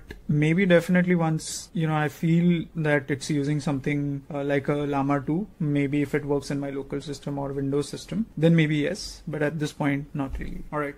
Hey guys, Canva released a bunch of generative AI features very recently and I'm gonna try these out. In order to access features, all you need to do is scroll a bit and you'll be able to find all of them here. You can obviously find it inside the editor, but to show you uh, the features, I'm gonna quickly open these items here. So first is Magic Write Everywhere, Play with Draw. Not all of these are generative AI features. There's Try Out Ma- Magic Design, Try Out Magic Edit and Eraser, Try Out Magic Presentation, Edit with Beats. So there's Animation, Brand Hub, translate and finally text. Let's quickly try each one of them and see what they do. Now the, the first one is Magic Write. It's an AI about writing assist start your brainstorm idea. Quickly generate writing. Is this like a Notion AI? Um, let's just try it. So I'm opening this in a new tab here and best to start five topics on of generative so in order to try it out, you get 25 Magic Writes, especially when it comes to Magic Writes. I'm not sure about the other ones yet. Let's so I'm saying five topics on basics of generative. So it went ahead and it kind of added AI generated text. You see what this can do for your presentation, right? So assume that you're making presentations on uh, Canva. You can use this feature in order to generate AI powered text for you while you're building the presentation. Now I don't know if there is a is there a way to magic right? So all you need to do is put hash and then start like 500 character basics of generative. So 500 character basics of generative AI. Now these are more appropriate, especially when you want to make your present. Imagine how quickly you can make presentations now using. Let's quickly try the new one. Draw. I'm not sure if this is an AI or hand draw. It looks like this is basic paintbrush where you can drag and draw new ideas. So I'm not gonna explore this one. It's just magic design. Put your media there and it builds a bunch of designs. So let's try it. I'm gonna upload my own image and see what can be done on this. So I've uploaded my image. Basically, what the feature would do is it would create variations, and you will see what I mean here, right? So it kind of this is like a testimonial. This is like a gaming um, card or something, like an Instagram page. You can obviously customize this template further. Seems more like a, a banner photo. Overall, this is a good feature. Like I think you can u- use these real time. Uh, but again, this is new and improving. So certain uh, alignment or thing things that have aligned here may not be perfect. Basically, all it's doing is kind of uh, identifying what the character is and then putting them in the appropriate situation. Let's quickly try next one. We tried the magic design. So designs the photo, right? Now this is the magic edit and erase. Objects from your photos. Okay, how do I use it? It's like this is also something that's new. I don't really know how to use the magic eraser. It will not use edit photo and then magic it. Yeah, it requires a premium version. Yeah, very uh, terrible in that sense. Like I can't even figure out how to use it. Let's try magic presentation. So this is one of the features that I really like where you can uh, request Canva to build a presentation for you merely based on text and it generates like a template that you can use. Maybe it's using generative AI, right? So let's say basics of generative AI. It takes a few seconds to create the presentation, but then once it's done, it kind of uh, builds a bunch of samples, and each of these samples will subsequently have slide, right? So, and the best part is that these are generated by AI. The text itself is generated by AI, and so these are all things that are relevant uh, to the presentation. So these, this is not dummy data. This is real data that you can use after doing some basic edits on the. At this point, some of these are not good looking, but I think it's a great direction to move uh, because because there are not a lot of tools that currently build present. I think this is one of the good features mm, that Canva has. I may be able to use it. Then there is beat sync. What this basically does is it kind of understand the beat points of the video and then aligns the video accordingly. So let's check. You call me a saint, but you know I'm a stranger. Oh, willing. So you can see these are beat points. When it knows that this is a beat point, so it'll skip to the most relevant video frame. To do what you want. You think I'm a thinker, but I'm just a singer. Or busy and pretty, just making believe.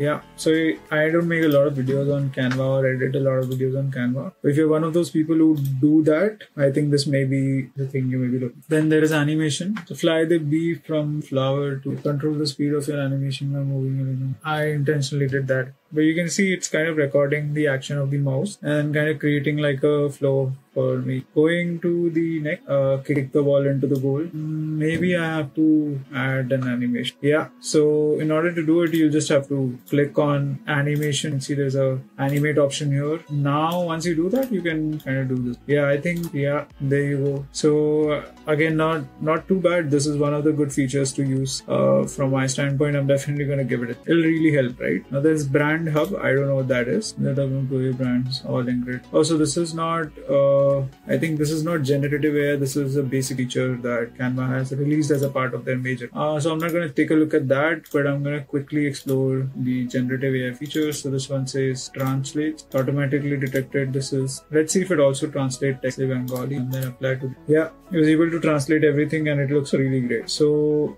it didn't really uh, delete that old slide. It created a new version with the addition. So imagine if you are someone who's making presentation in um, one language and you want to show the same presentation in some other language. It's something you can uh, take. I may personally be able to use it for one of the use cases that I just thought. And finally, this is uh, text to image. I think if you're following generative AI, this may be a no-brainer for you. At the dog on a subway, and I'm gonna say drink like all the AI generation features, my assumption is this would also take some time. So let's see. Yeah, two dogs are already ready. There's a third one. And here's the final. Cool. You can regenerate or start over. You can also do some other style and create again. But otherwise, I think this is a great feature. If you liked um, or if you're following generative AI, feel free to kind of join our Discord. But this is going to be it for the video. If you have questions for any question, just drop them. See you guys. Hey guys, there were two major changes made to Runway after the initial release itself. The first one was that generate up to 5 seconds of video and at a higher resolution and at 25 frames per second. So I'm just going to quickly try this new update. All you have to do is select the file. For this, I'm going to take one of my own videos. I'm to see the kind of results it generates. Initially, it was crashing a lot uh, on the production, but now I think it's working fine. The video is uploaded, right? I'm basically just waving my hands around in the video to see how it looks. Choose one of the demo images here. This claymation, paper origami. Say claymation and see how it looks. Takes a few seconds to generate your video. You can see now I came from 22 seconds to 17 seconds. Gonna wait until this is done. By the way, if you're interested in by the way, if you're interested in new tools in generative AI or just want to follow what's happening in generative AI, join our Discord channel. The link is in the description. Anywho, the video is now ready. Let's just quickly take a look. Wow, it's done a fantastic job in my opinion. It's done five seconds. But look at this. Yeah, so all of these moments come after five seconds, which is why I'm Let's try one more video. Let's try generating one more of this, right? This time we'll try prompt. Netherworld, outer space, planets in the background. Let's try it. You can create more variations of the video. Run. Also uh, do pen and ink. You can see how it can process multiple of these see how it can process multiple of these at the same time. Also going to do Cyberpunk. So compared to earlier, the video is better quality for sure and also is longer. So the updates I think have really really helped. I only have 2 seconds worth of videos left now so I'm not going to do any more. I don't know if these credits are renewed every month. There is no indication if these are so you may just have to upgrade if you're looking to use more of Gen 1 after you exhaust the free ones. So you will be billed 15 per month with 625 credits i think it costs 14 credits per video I think you can do approximately 44 you can do approximately 44 video generations with the standard plan 160 video generations with the pro plan as of right now. Okay so this is the output for the prompt one. Hmm, not bad. Looks like some creature from the netherworld with the space background something that we uh, wanted to generate. Next i think i tried the pen and ink I don't think it's bad at all. It's a great generation overall. And finally, we tried the Cyberpunk one. Yeah, this one's not too good because it's assuming that it's putting city on my face. So this one is not too good. But yeah, but I think you understand now. So I hope this video helps and I'll see you guys in the next one. Thank you. So this is the output. Previous model wouldn't be able to pull this off. Say this is not bad. Yeah, this is way better than the previous ones. What's up guys? In this video, I'm going to be looking at Stable Diffusion XL, which was announced two days back, which is like an upgrade to Stable Diffusion 2.1. And it's great at creating detailed images, hyper realistic images, images like these, and especially text which has been an issue with a lot of text to image generation model. It's currently in beta and available on Dream Studio, and it will be released as an open source model in the near future. Remember, the sta- previous two stable diffusion models were also open source. What I mean by that is that you can download this model in your local system and play around with it without really paying any charges to use the model push. There are some highlights, right? The photorealism, image composition, face generation, shorter prompts to create descriptive imagery, greater capability to produce legible text, rich visuals, and jaw dropping aesthetics. You can go ahead and read it out if you want. What we're going to be doing in this video is we're going to be trying this model and comparing it with Midjourney V5. I have I have a list of six prompts that I'll run. Basically, these six prompts are kind of a logical story of an adventurer. I'm going to be running this across both Stable Diffusion XL and the Midjourney V5.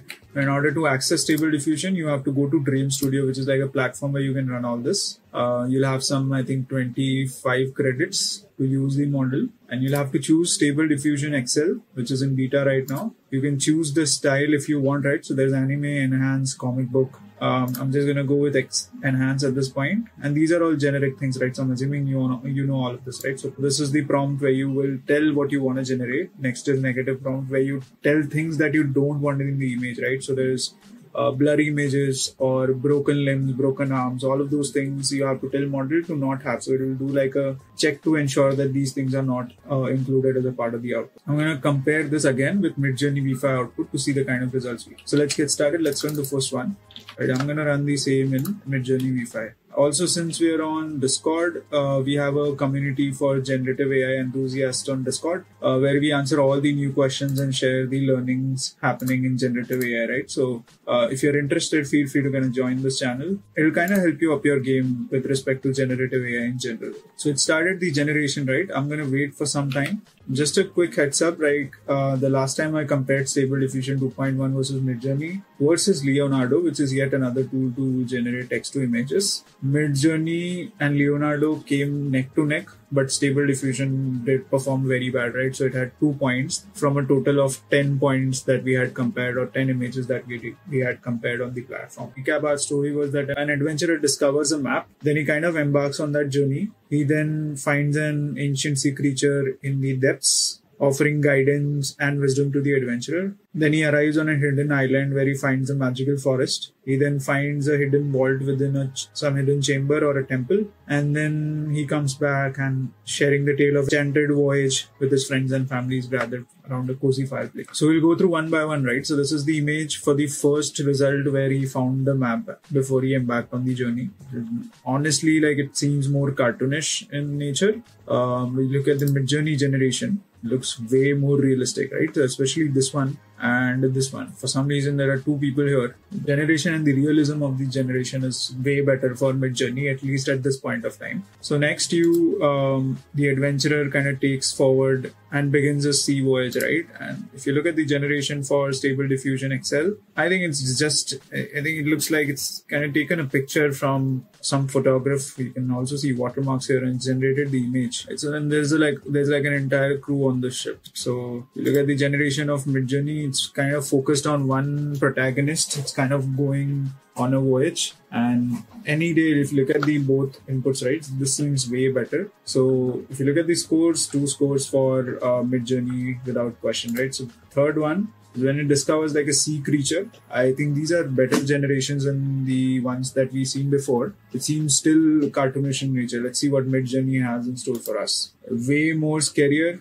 way more real. The only um, the only problem that I see is that some of these have two adventurers, while this one has one. Uh, this seems like the sea creature wants to kind of devour this. The the only one that seems most aligned with our prompts is this one, where uh, looks like the sea creature is kind of willing to offer some guidance. There's also a ship, so I really, really like this generation. Um, the quality of the output, the nature of how the protagonist is kind of communicating to the creature is way more accurate on this one. Let's look at the next one where um, is coming to some hidden garden. This one is obviously has two people, right? So it's directly out. This one is moving through the garden. This one seems good, but um, again, if you look at the generation by Midjourney, right? So way more realistic, especially this one, right? Um, and this one, it's kind of coming out from water somewhere and uh, it's way more aligned with the prompt that at least we had entered. So yeah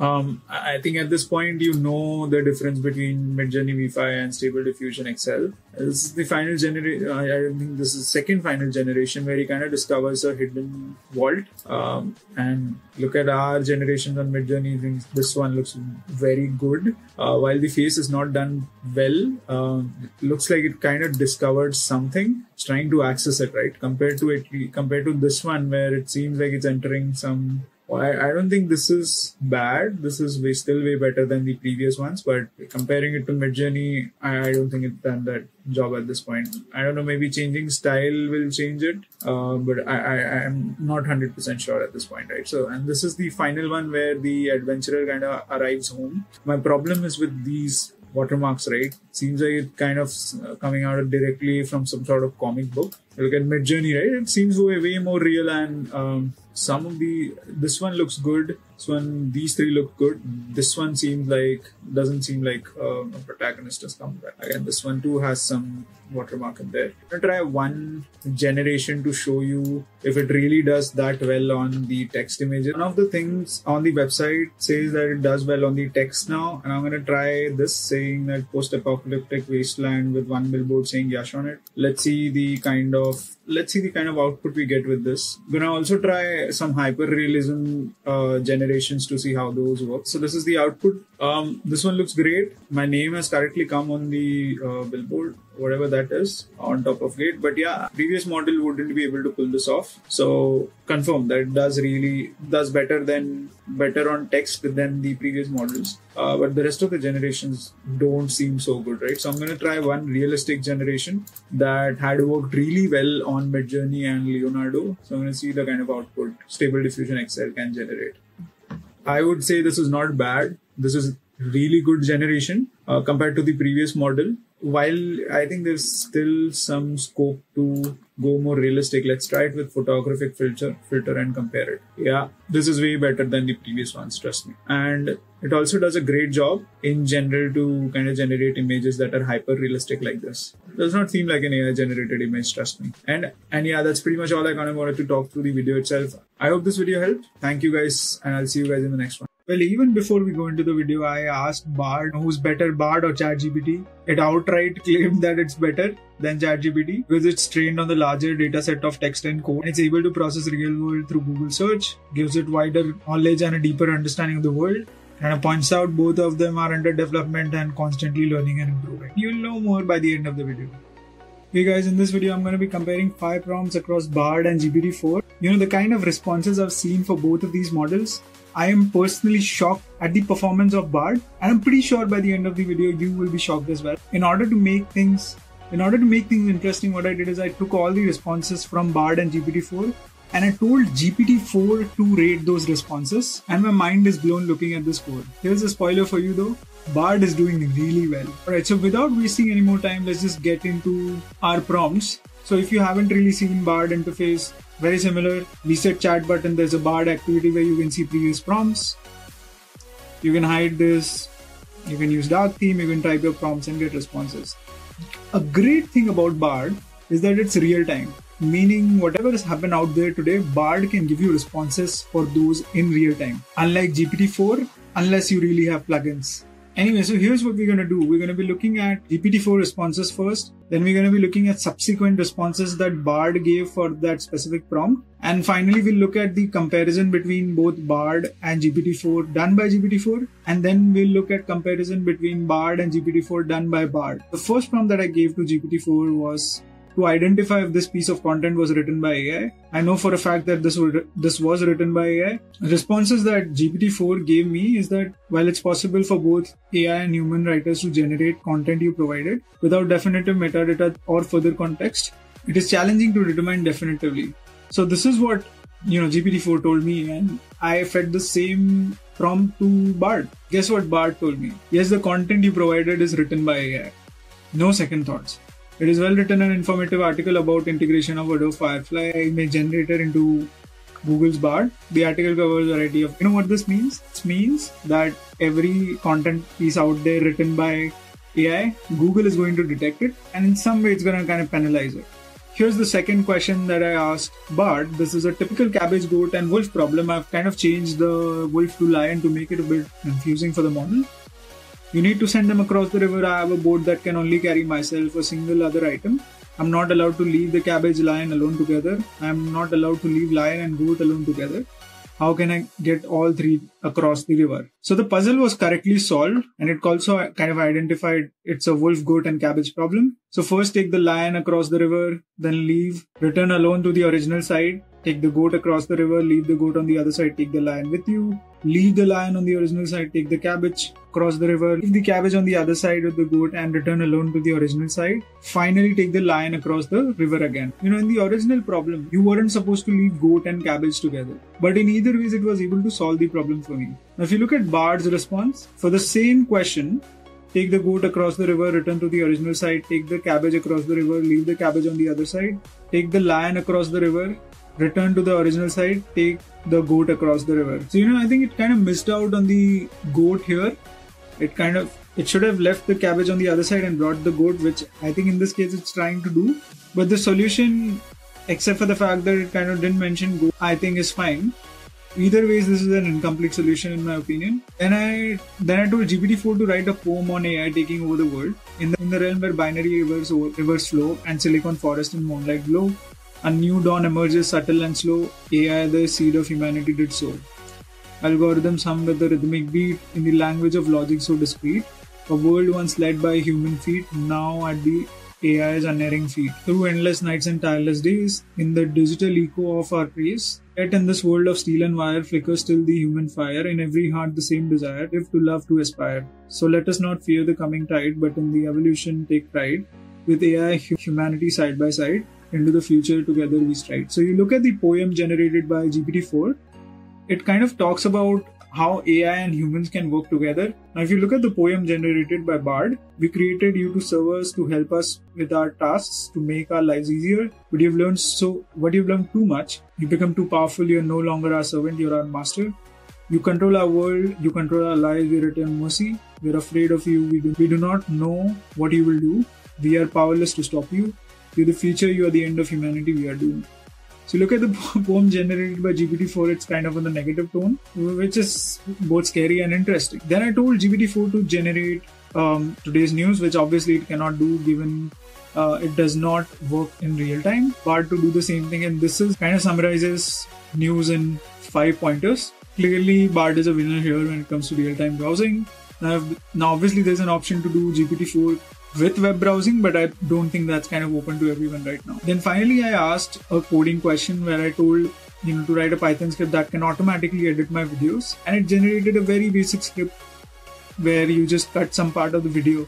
You look at the response generated by Bard, it did the same similar thing where it generated a script. I can do, you know, cut my clips in 10 second clips. It will then join the clips together and save the final video called output for MP4. So not too much difference uh, in the responses for code. Poem had a significant difference, not too much difference in the puzzle. And Bard did a great job when identifying AI written content versus GPT-4. Now let's go to GPT-4 and tell it to compare you know, the answers and allot scores for each of these answers. In the end, I've asked final justification for both GPT-4 and BARD based on the final scores they've given to the model itself. You're a judge, rate the quality of the responses I submit along with two competitors. Competitor 1 is CG, competitor 2 is B. No justification, just scores from 1 to 10, 1 being lowest. So the first question was obviously to identify content written by AI, and I've given responses for both CG and B. You can see the response for CG was 7.5 was versus for competitor B, which is completely wrong, 6.5. You can see the response given by CG does not give any direction with respect to if with respect if the content was written by AI, but B very clearly gives out these scores. So I would rate this a lot more than 6.5. So for second question, the cabbage, goat, and lion problem, I fed both the responses again, and you can see competitor one was rated, the ChatGPT was rated 8 versus you know Bard was rated 7 for question 3, the poem competitor 1 was rated 9 and competitor 2 was rated 7, which I agree. The poem written by ChatGPT is way more non scary, if I may. For question number 4, and this is where things are a little weird, right? So there's competitor 1 uh, having 7 when literally it gave nothing. versus competitor 2 give, getting 9, which I think makes sense, but it shouldn't have really gotten 7 for this. Well, in Chat GPT's defense, it's also kind of unfair to compare the score.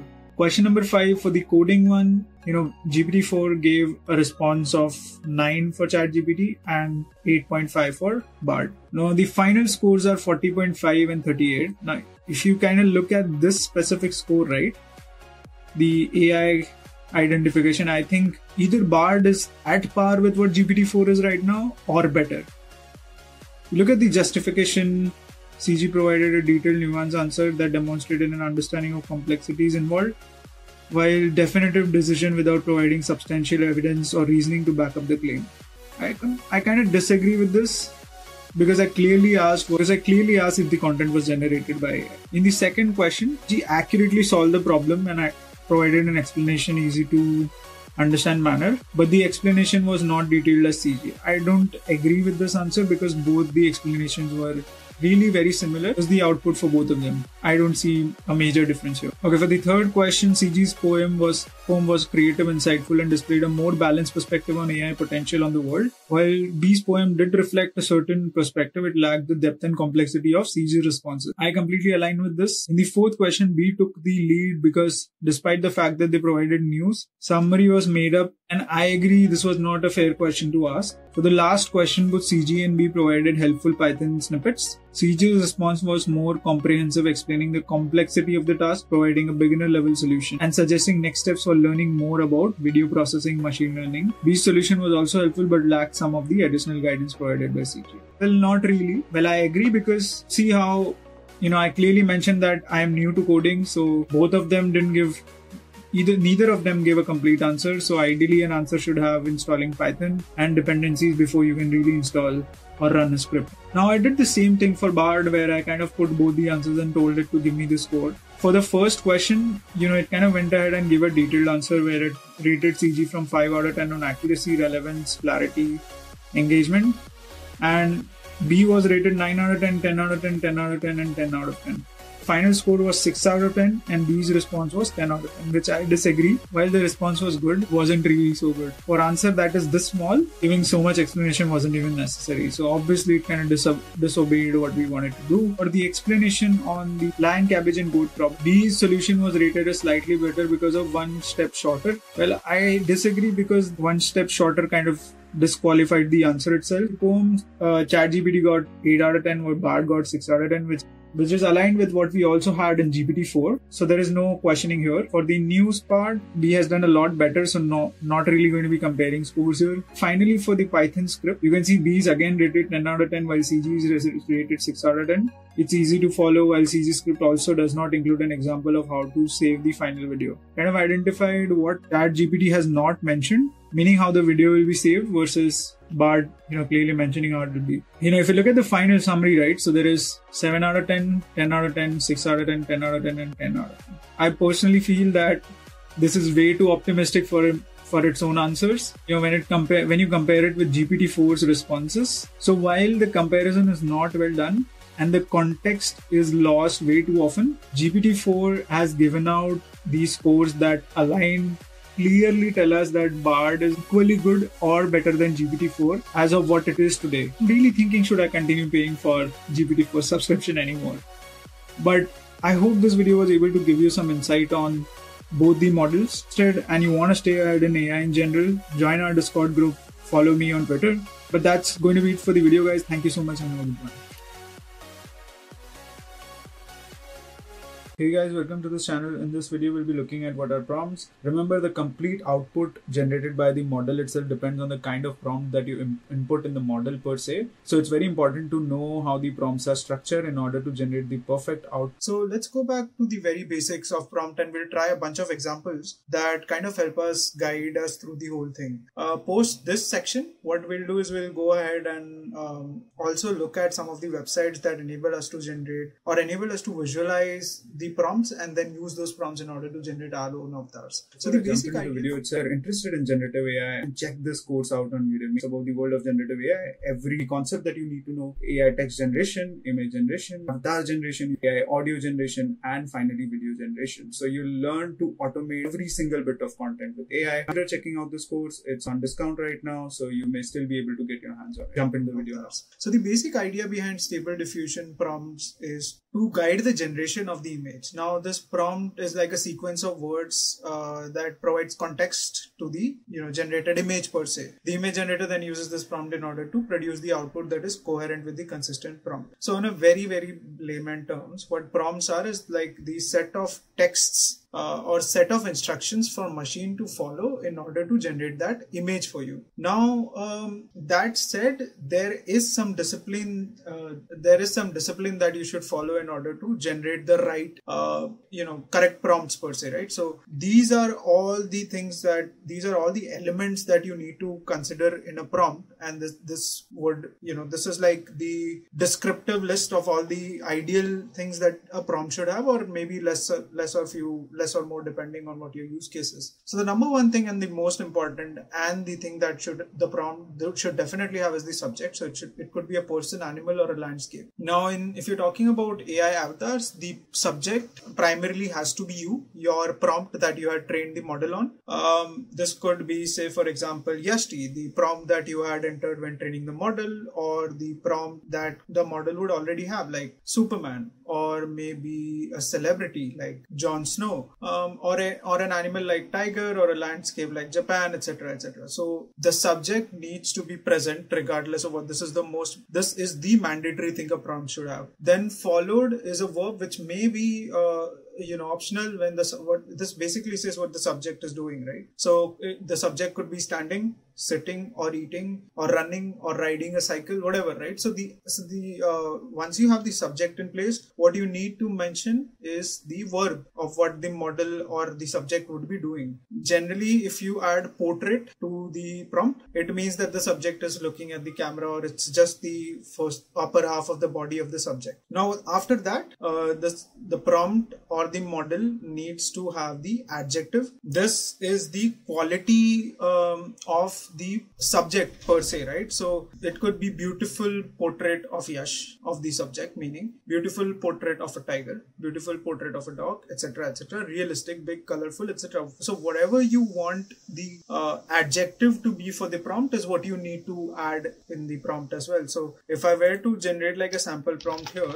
let's put all of this together and see what we can generate so beautiful portrait of Yashti standing. Environment could be the mostly the background. So outdoor, underwater, in the sky, at night, etc., etc. Whatever works based on the use case. So you can stay uh, at night. All of this needs to be separated by comma in case you can kind of create like a small sentence out of it. So in this case, beautiful portrait of you standing at night is a sentence which will go. So this is the context that machine will use either to generate the background or arrange lighting or arrange the context accordingly. Then you can say the lighting. Now this is because it's night. I'm going to say neon lighting. So uh, now it says beautiful portrait of Yashti standing at night, neon lighting. So now you, you can start visualizing in your head uh, how the portrait is going to look, right? So that's the idea behind this whole thing that you put all of these things together that the machine would then visualize in its own way and generate like a uh, image per se. This is fascinating and uh, I know this is fascinating, right? So now you have to also consider the emotion. This could be romantic, grim, energetic. Let's say grim. So this should generate like a scary portrait. Now, if you if you are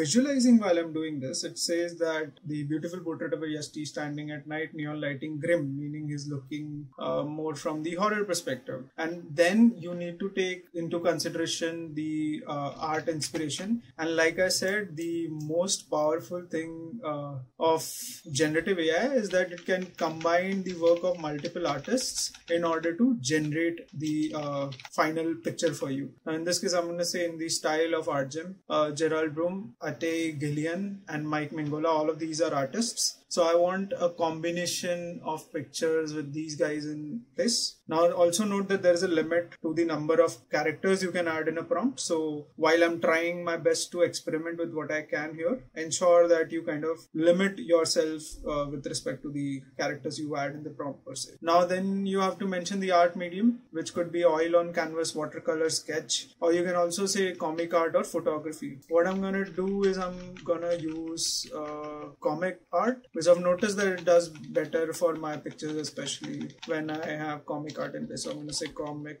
art, okay. And then there is a photography style. Uh, again, if this is something that you'd want to take into consideration, feel free to. You can use Polaroid, long exposure, monochrome, GoPro, fisheye, bokeh. All of these things would, I think, help your portrait seem more realistic from that extent. So it's the call you'd want to take. Uh, feel free to kind of, you know, do permutation combination depending on what you want to achieve. And then there is an art style manga, fantasy, minimalism, abstract. So let's try minimalism. Um, I think I'm gonna break my model here, but let's explore the boundaries of what model can do anyways, right? So art style, I've already kind of took comic art, but I want to limit, I want to try to keep it minimalism. Then material could be fabric, wood, and clay. Again, this depends on the type of, uh, you know, final image that you want to generate. So it could be on a fabric, wood, or a clay. Then color scheme could be pastel, vibrant, dynamic lighting. So I'm going to say vibrant. Computer graphics could be 3D octane cycle. So I'm going to skip that. Basically,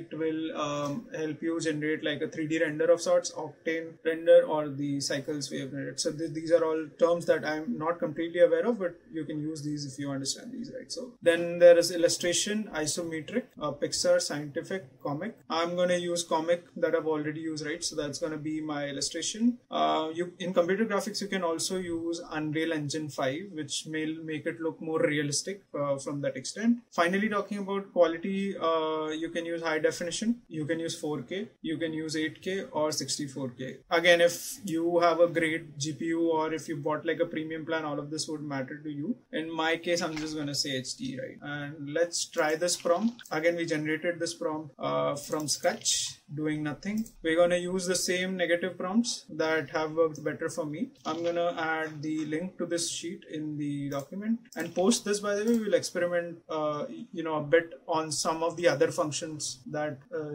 you also need to keep in mind. But let's try it with this prompt. Um, let's quickly wait for the model to generate an output for this. Mm, use 400 into 400. I hope it's not too bad. You can see it generated like an anime character with the hair that are that is close to me. So this one's this one looks super cool. So I'm just gonna take one of the images, right? So this also looks super cool. So you can see that it's a grim face.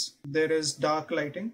There is neon lighting. Uh, then the person is looking at the camera. I think this is the most realistic uh, that it has generated. So I'm gonna go ahead and save it. But you can see that not all the images match the criteria, right? Regardless, you will see these cases where only few of the images from the render will actually match uh, to what you had requested in the you know prompt itself. So you can play around with this guidance. Kit. And this is going to be it for the video itself. If you are interested to learn more about prompts, AI avatar generation, or generative AI in general, check out the video or the course link in the description. Sign up for the course. It will teach you everything you need to know. It will give you access to hundreds and thousands of prompts to generate whatever you can and cannot think of. So I, if this video helped, consider subscribing to the channel, drop a like on this video, and I'll see you in the next one. Thanks so much, guys. Hey guys, in this video, I'm going to show you how to turn boring QR codes like these into fancy looking QR codes like these. And it's pretty simple. So let's get started. Pretty sure you've been going through the internet and you might have seen QR codes like these generated using AI. So this is one example. Here's another one. Here's another one. And this is yet another one. These look beautiful. And you know,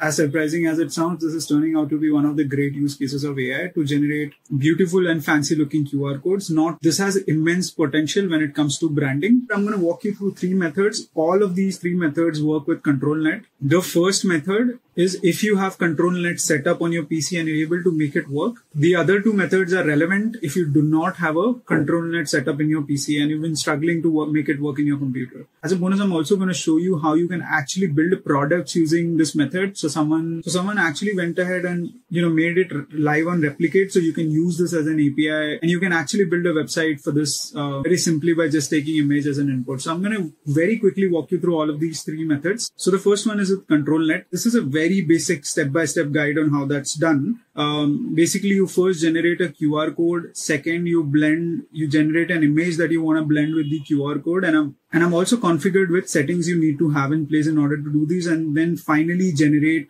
the AI generated QR code, which sample is added here. Again, I'm not going to go deep in this method because there is a no code way to do this. So if you want to do it the native way and generate it yourself using ControlNet, go ahead and test it out. But there's also a Hugging Face space where you can do it without really worrying about computing and making all those customizations. I'm going to add the link to this space in the comments, but how this works is you need to have QR code content, meaning the action that, that you want the user to drive when they scan the QR code. Then you need to enter the prompt. And if you want to add negative prompt, you can go ahead and do that too. And then finally, uh, if you want to make some customization with respect to settings here, you can also consider doing that. But uh, as for the space itself, it's pretty optimized. You can see this is the output that I had generated using this prompt, owls and flowers, Ernst, Maria, Marian art, and it was able to generate this QR code for me. It does work. If you go ahead and scan it, you'll be able to see it does actually work, right? Now this is as simple as that I went ahead and generated a couple of samples. You can see this is the second variation of the same image. So while the image looks similar, they're not actually the same, right? So I went ahead and generated a second variation of the same image. This is the third image where I added um, blue sweater, black hair, sitting in psychedelic patterns inside office thinking and was able to generate a QR code like this. It looks very good. Again, this looks way beautiful than the QR codes today. And imagine like someone who's trying to brand their product, they will be able to display the important, important components of their brands on this QR code. Next, I generated Minecraft skin, gloomy, menacing in a jacket, pants and boots. And you see this was able to generate something like this. Obviously, it's not perfect, but it's way better than merely silly looking QR code, right? Next, I also generated serious man with short beard, mature manly with black hair and glasses, and it was able to generate something like this. This model is not, the model is not there yet, but you can play around with these parameters in order to modify how you want the image to look, right? This one in particular looks great. Uh, you can see crystal magic, astronaut floating, psychedelic crystals, magic mushrooms, etc. Was able to generate a very fancy looking QR code like this. And finally, I also tried generating vintage 90s anime style, cluttered starship interior, cap- captain giving orders, and was able to generate a QR code like this. And you can play around with the prompts here. You can add whatever you'd like. You can also upload the image of the QR code if you have it handy and it'll be able to generate that for you. Now, if you're using the control net in your computer, if you're using the control net in your computer, then you will be able to generate QR code with your own images. Uh, but note that the variation or the output may differ because it's not going to be the exact same image that will be transformed, right? So rather, I'd recommend using text prompts in order to generate more open-ended outputs. Finally, to talk about um, the business side of the story. So, for example, if you wanted to monetize and build a website on this, on Replicate, you can actually upload your models and turn them into APIs. In this specific case, I'm using Danny Postman's model. So, model works exactly the same way. You upload the URL that you want to embed in the QR code, and then you add a prompt with respect to what you want to generate, and then you go ahead and submit. It's way faster than the Hugging Face models here. And you can also monetize this by building a website over this API. So, you can actually go to the API section and install the necessary modules and then go ahead and um, use this as an API. API is available here. So you can actually do a search on uh, replicate in order to find which one suits which one actually works best for you. As a final section, I'm going to actually generating one in real time. I'm pasting the prompt here. Let's go ahead and run it. This takes around um, 20 seconds. When there is no queue, it could also go to 200, 300 seconds. You can see it was able to generate a QR code like this. Again, the model is not there yet, but it's way better than a QR code that looks like this, right? So yeah, I think that's going to be pretty much it for the video, guys. I, I hope this does add value to you and now you're able to generate fancy QR codes for your own brands. If you have any questions, feel free to drop them in the comments and I'll be more than happy to get back to you. But if you did find value in this video, do share this across with a friend, guys. Thank you so much and have a good one.